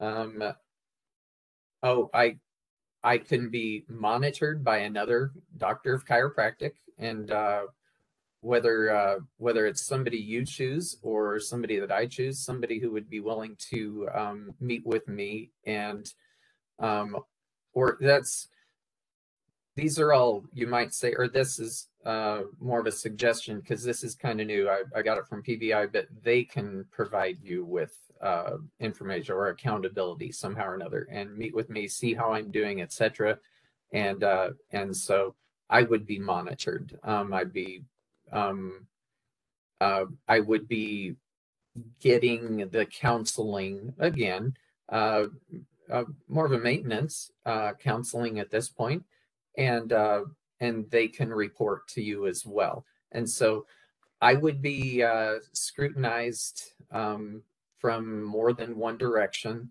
um, in every direction that I can think of, and I'm open to others as well. Uh, the office would be open, and and it would be there for not the entire world to see, but uh, for your eyes and uh, and any patient's eyes that wishes to see the video. And so, um, from as many directions as I could uh, as I could think of and professional boundaries is able to come up with, um, that's where um, I I was able to put together this boundary protection plan. And so, and if you can think of anything else, mm, I I would do anything you told me to do. Oh, uh, polygraphs. That's another way that um, I can be monitored and see if I'm being truthful um, when asked any questions that you want asked or uh, someone you appoint to have uh, who can handle uh, these matters uh, professionally. If, if they were to uh, come up with a list of things, okay, I want them to ask this and this and this, you go down the list, and um, and I could be uh, I could be asked those things under polygraph examination as well, and so so that was another way that um, that I discovered where um, you could see you could monitor me, the office, make sure that the patients are are being protected. Those are the main ones that come to mind. There may be more in there, but um, uh, and you do have that information. Um, I'm happy to go through the the papers uh, um, with you, um, but the but I but I would I I'd be happy to institute any of these things, any and all, and more if if you uh, whatever you see fit. Un- Understood. Thank you. Um, last question from me is, um, you mentioned providing free services to, to vets. Were, were you providing adjustments? I'm not I'm not right now. I would uh, that's what I would add to what I'm doing. Uh, thank you for clarifying that. No, I am not adjusting vets. I'm not adjusting anyone. I'm uh, I'm uh, providing them tacos and uh, frying tortillas over a pan. Um, I'm uh, or in a pan. I'm uh, uh, that's yeah. I'm I'm doing uh, kitchen work presently for the for the veterans. I would um, then take some of those. Uh, I would take those same veterans that are underserved and offer them pro bono care, offer them free care so that uh, I can serve them in yet another way while continuing um, what I've been doing uh, for them presently. Thank you. I don't, I don't have any further questions. Ms. Cruz, any questions? Yes, thank you. Um, understanding the level of discretion you've taken kind of leading up to you know, this particular hearing, if your license is reinstated, are you okay being- with being placed on probation where in that probation period, you're required to inform patients of the reason you're on probation? Absolutely. Yes. And you had mentioned um, earlier that, you know, kind of leading up to, leading up to this hearing, you know, you've uh, kind of kept it, uh, kept it close. So kind of I wanted to kind of do a double check on, you know, one, the level of discussion you took leading into this, but knowing that kind of if y- your license is reinstated and placed on a, in, on probation, that that wouldn't be the case anymore. You would not be able to hold it as close. I, I merely kept this um, this meeting close. Um, on a personal note, the, the whole thing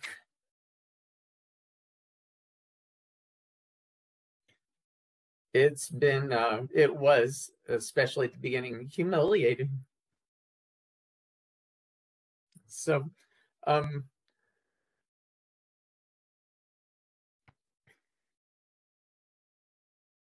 um I didn't want um forgive me.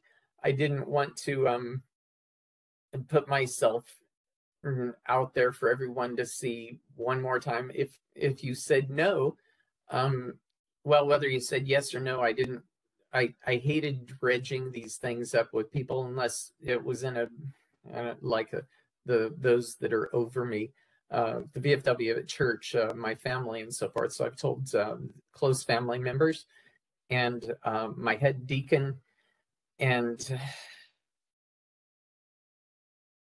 about this meeting, but it's it's only this meeting, but but I think that's it. Just because I've uh, it really has been humiliating. Mm, Understood. Thank you. No additional questions. Dr. Daniels, do you have any questions? Uh, yes, I do. Um, I'll try and keep it uh, brief. Um, Mr. Mars, do you need a minute or are you okay with a few more questions? Good. Okay. Go right ahead. Thank you. Mm-hmm. Um, uh, just logistically, um, have you given thought to, I, I read your plan, um, and I hear what you're testifying today as far as the safeguards. Um, have you given uh, thought to say the chaperone wasn't available or the chaperone was sick or a patient calls you um, and they really need to see you, their back is out and, you know, have you given some consideration as to how are you going to deal with that? Absolutely. There's um, patients would be canceled if I did not have a um, board approved chaperone in place. And so they would, um, it would be hard on the practice, but that it doesn't matter. I would never see a patient again um, without a chaperone. And uh, that is because uh, the the public would be protected, but really protect me too against uh, um, a uh, any allegations uh, that would come more easily if I were if I were alone. And so, um, but really, it's all about the patients. And so, uh, for their protection, I would not see patients. Um, I would have uh, I would have staff call and cancel them and close the office. If a patient really, really, absolutely had to see me, well, they can go and see someone else, and um, they they can call nine one one if it's that bad. There are um, there are doctors uh, that I know presently. If I didn't work here, I would know other chiropractors uh, in the area where I uh, would have an office, and they would uh, they would be referred to them, and uh, and I'd let those doctors know ahead of time what was going on, and so um, so absolutely not. The patient's no patient would be seen without a chaperone. And so by no patients, you mean both male and female patients? Oh, All yes. No. patients? All patients. Uh, so kind of leapfrogging off of that question, you had mentioned that you would not practice or open a practice if you were given your license back in the area that you live and that you would go someplace else. Why is that? Uh, because I gave my practice to another doctor, and um, and I would not want to uh, diminish that. Um, it is he's very successful in it. It's going very well.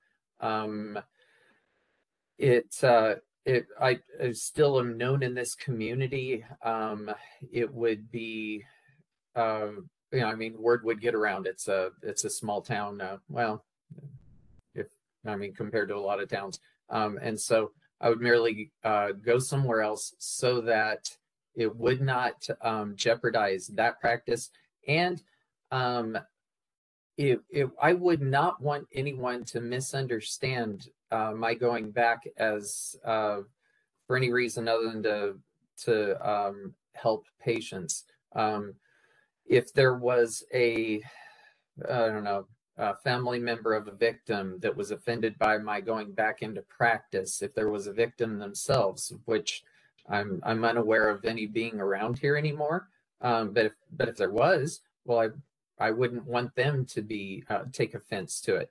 Um, I wouldn't want to appear uh, prideful or any really anything negative. Uh, and and so I I wouldn't want them to misunderstand why I'm going back. And so really that's that's the primary thing. It'd be I also wouldn't want to uh, drag down the pr- um, previous practice that that belongs to another doctor.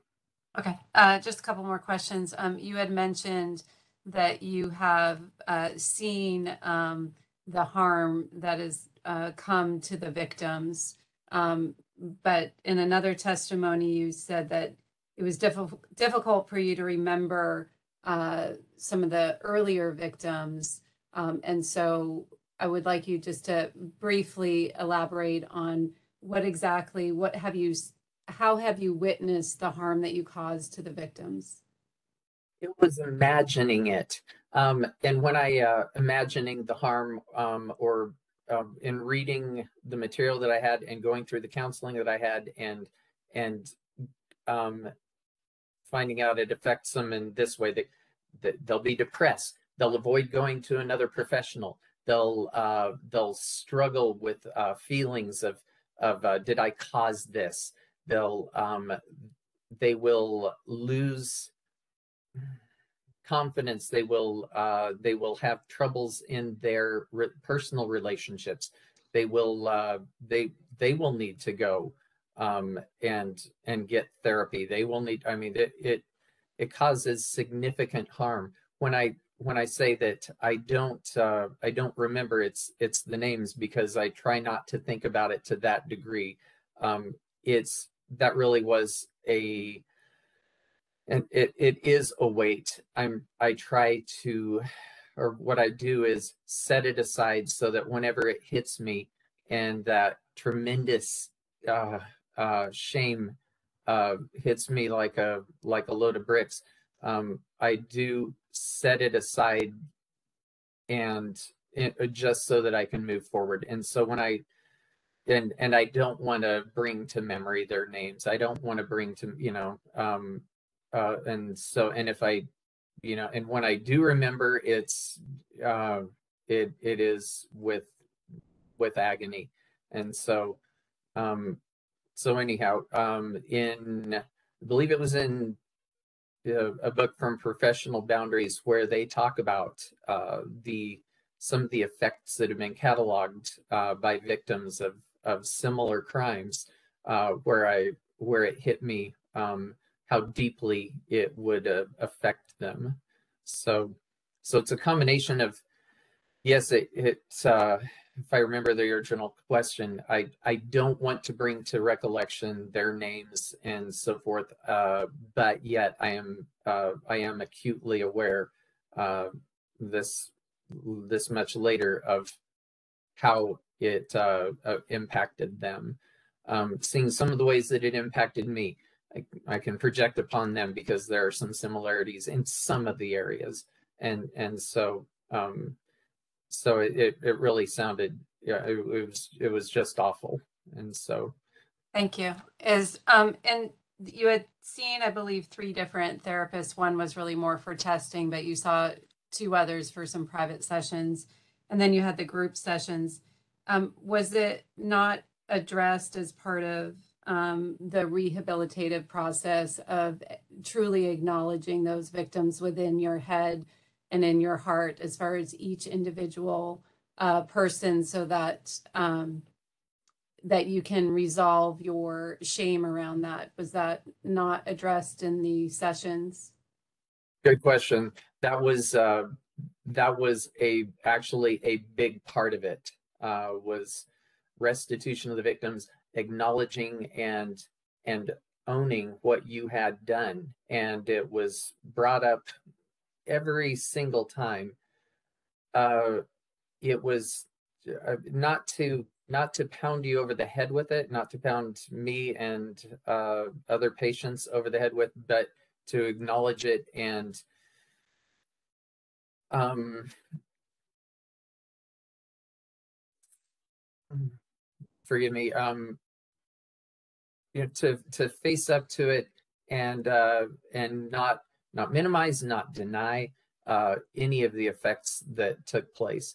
It's uh it's something that i do without i try not to i can i can picture faces um but i um but i try not to bring names to my mem to uh to the forefront of my mind.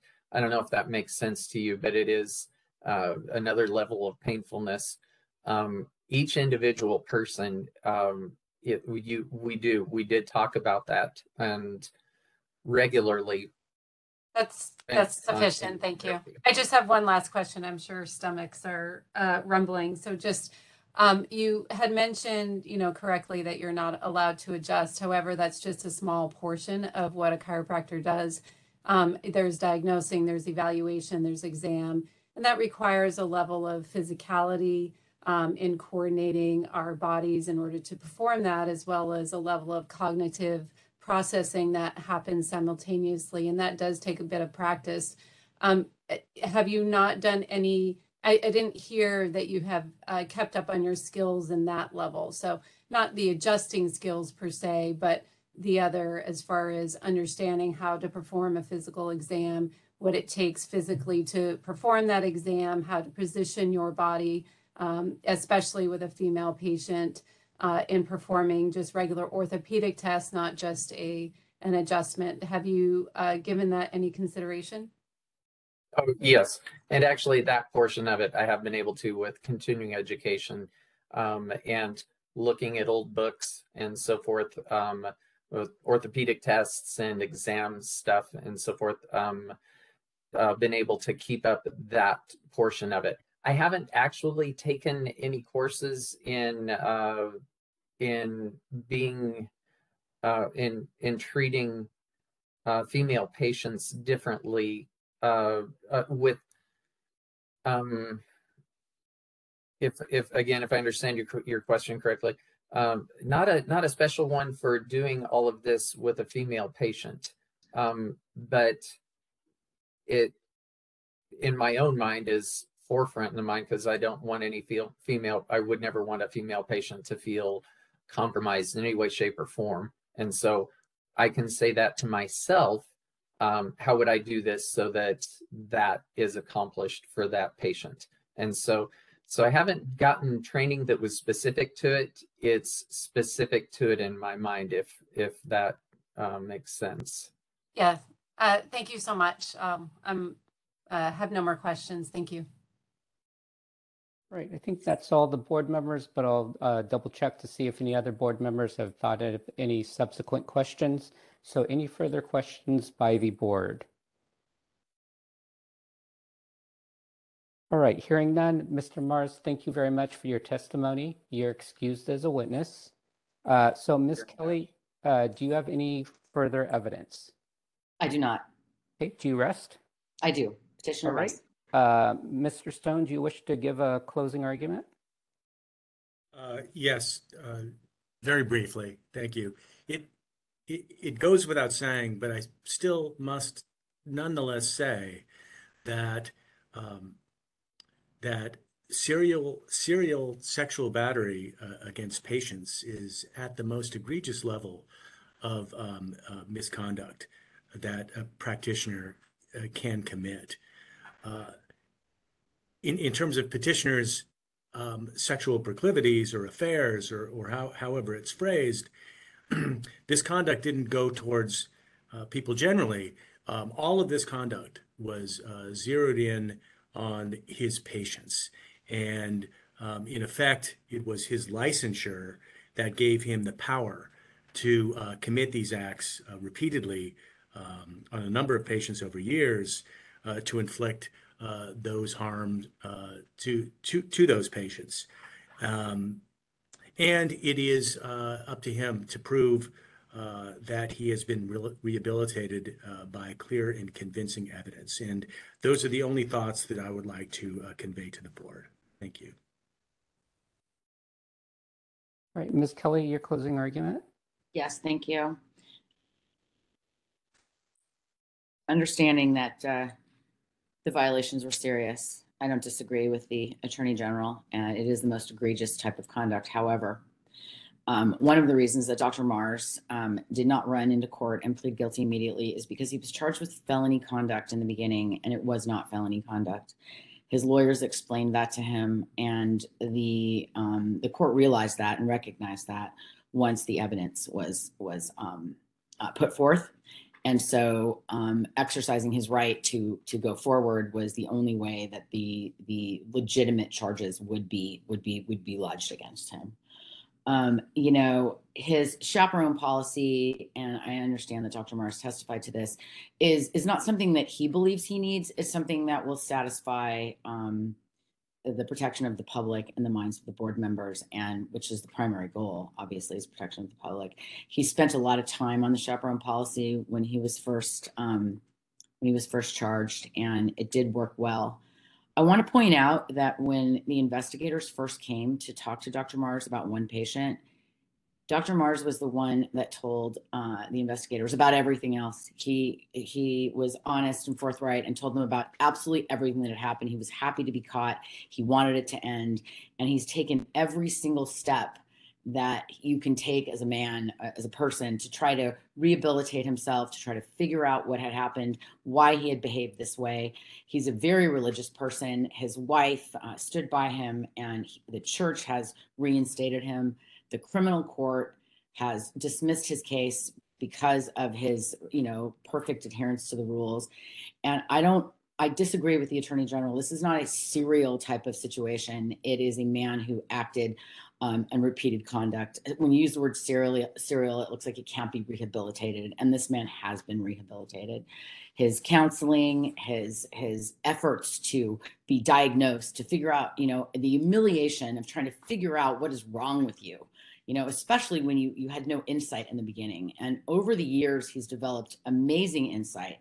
His therapy, his boundaries work, He's willing to submit to any conditions that the board thinks is appropriate, you know, whether it's five years of probation, any tests, anything that that um, that the board feels is appropriate. He's paid everything he owes. He's um, done with everything that he can, and his plan going forward, you know, to help the veterans and to help el- the elderly, and to go forward and you know be the man that that he um, has become uh, you know, it's it's uh, he went from a, a, successful chiropractor to a carpet installer. He has been, you know, um, you know, financially devastated, and he has learned and come forward in that in that manner, and have become a better man and a better person, and would be a better chiropractor. Uh, I know him, and you do not, but I have watched him over the years. I I was the one who. Um, uh, discussed with him the surrender of his license. I communicated to the attorney general at the time we discussed all the other patients. We discussed all of that, and through me, he did um, let the the um, the board know uh, through the attorney general's office at the time of the surrender. Um, there was no reason to, you know, file more complaints. He was surrendering his license. So um, I hope that uh, that you will give him another chance. And that's all I have. Thank you very much. All right, thank you, Ms. Kelly. So that concludes the hearing in this matter. Uh, the record's closed, the matter is submitted, and we are off the record. Um, so, Ms. Kelly, as you uh, may have heard me tell um, the prior counsel, um, the board will deliberate um, in closed session after hearing um, all the matters today. Uh, so a, a decision won't be issued today, but will be issued in the future. Um, and then um, my office will provide the court reporting uh, court reporter form uh, to you. If not today, then um, tomorrow for your records. Thank Do you. you, have very- any, do you have any questions? I do not. Thank you. All right. Thank you very much. Um, and good luck to you. And Dr. Paris, I'll turn the matter back to you. I'm sorry, did you want to know my page number, Your Yes, Honor? I'm sorry. I just realized I didn't ask. If I could get that, please. I have 76 pages. Thank you.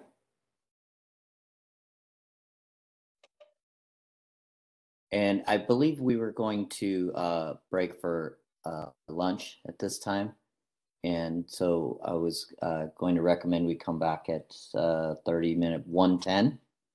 It'll give us a little more than 30 minutes there. Is that okay, Judge Wong? That is perfect. Whatever the board pleases. Okay, we'll take a break until uh, 110 for lunch. All right. Thank you. Thank you.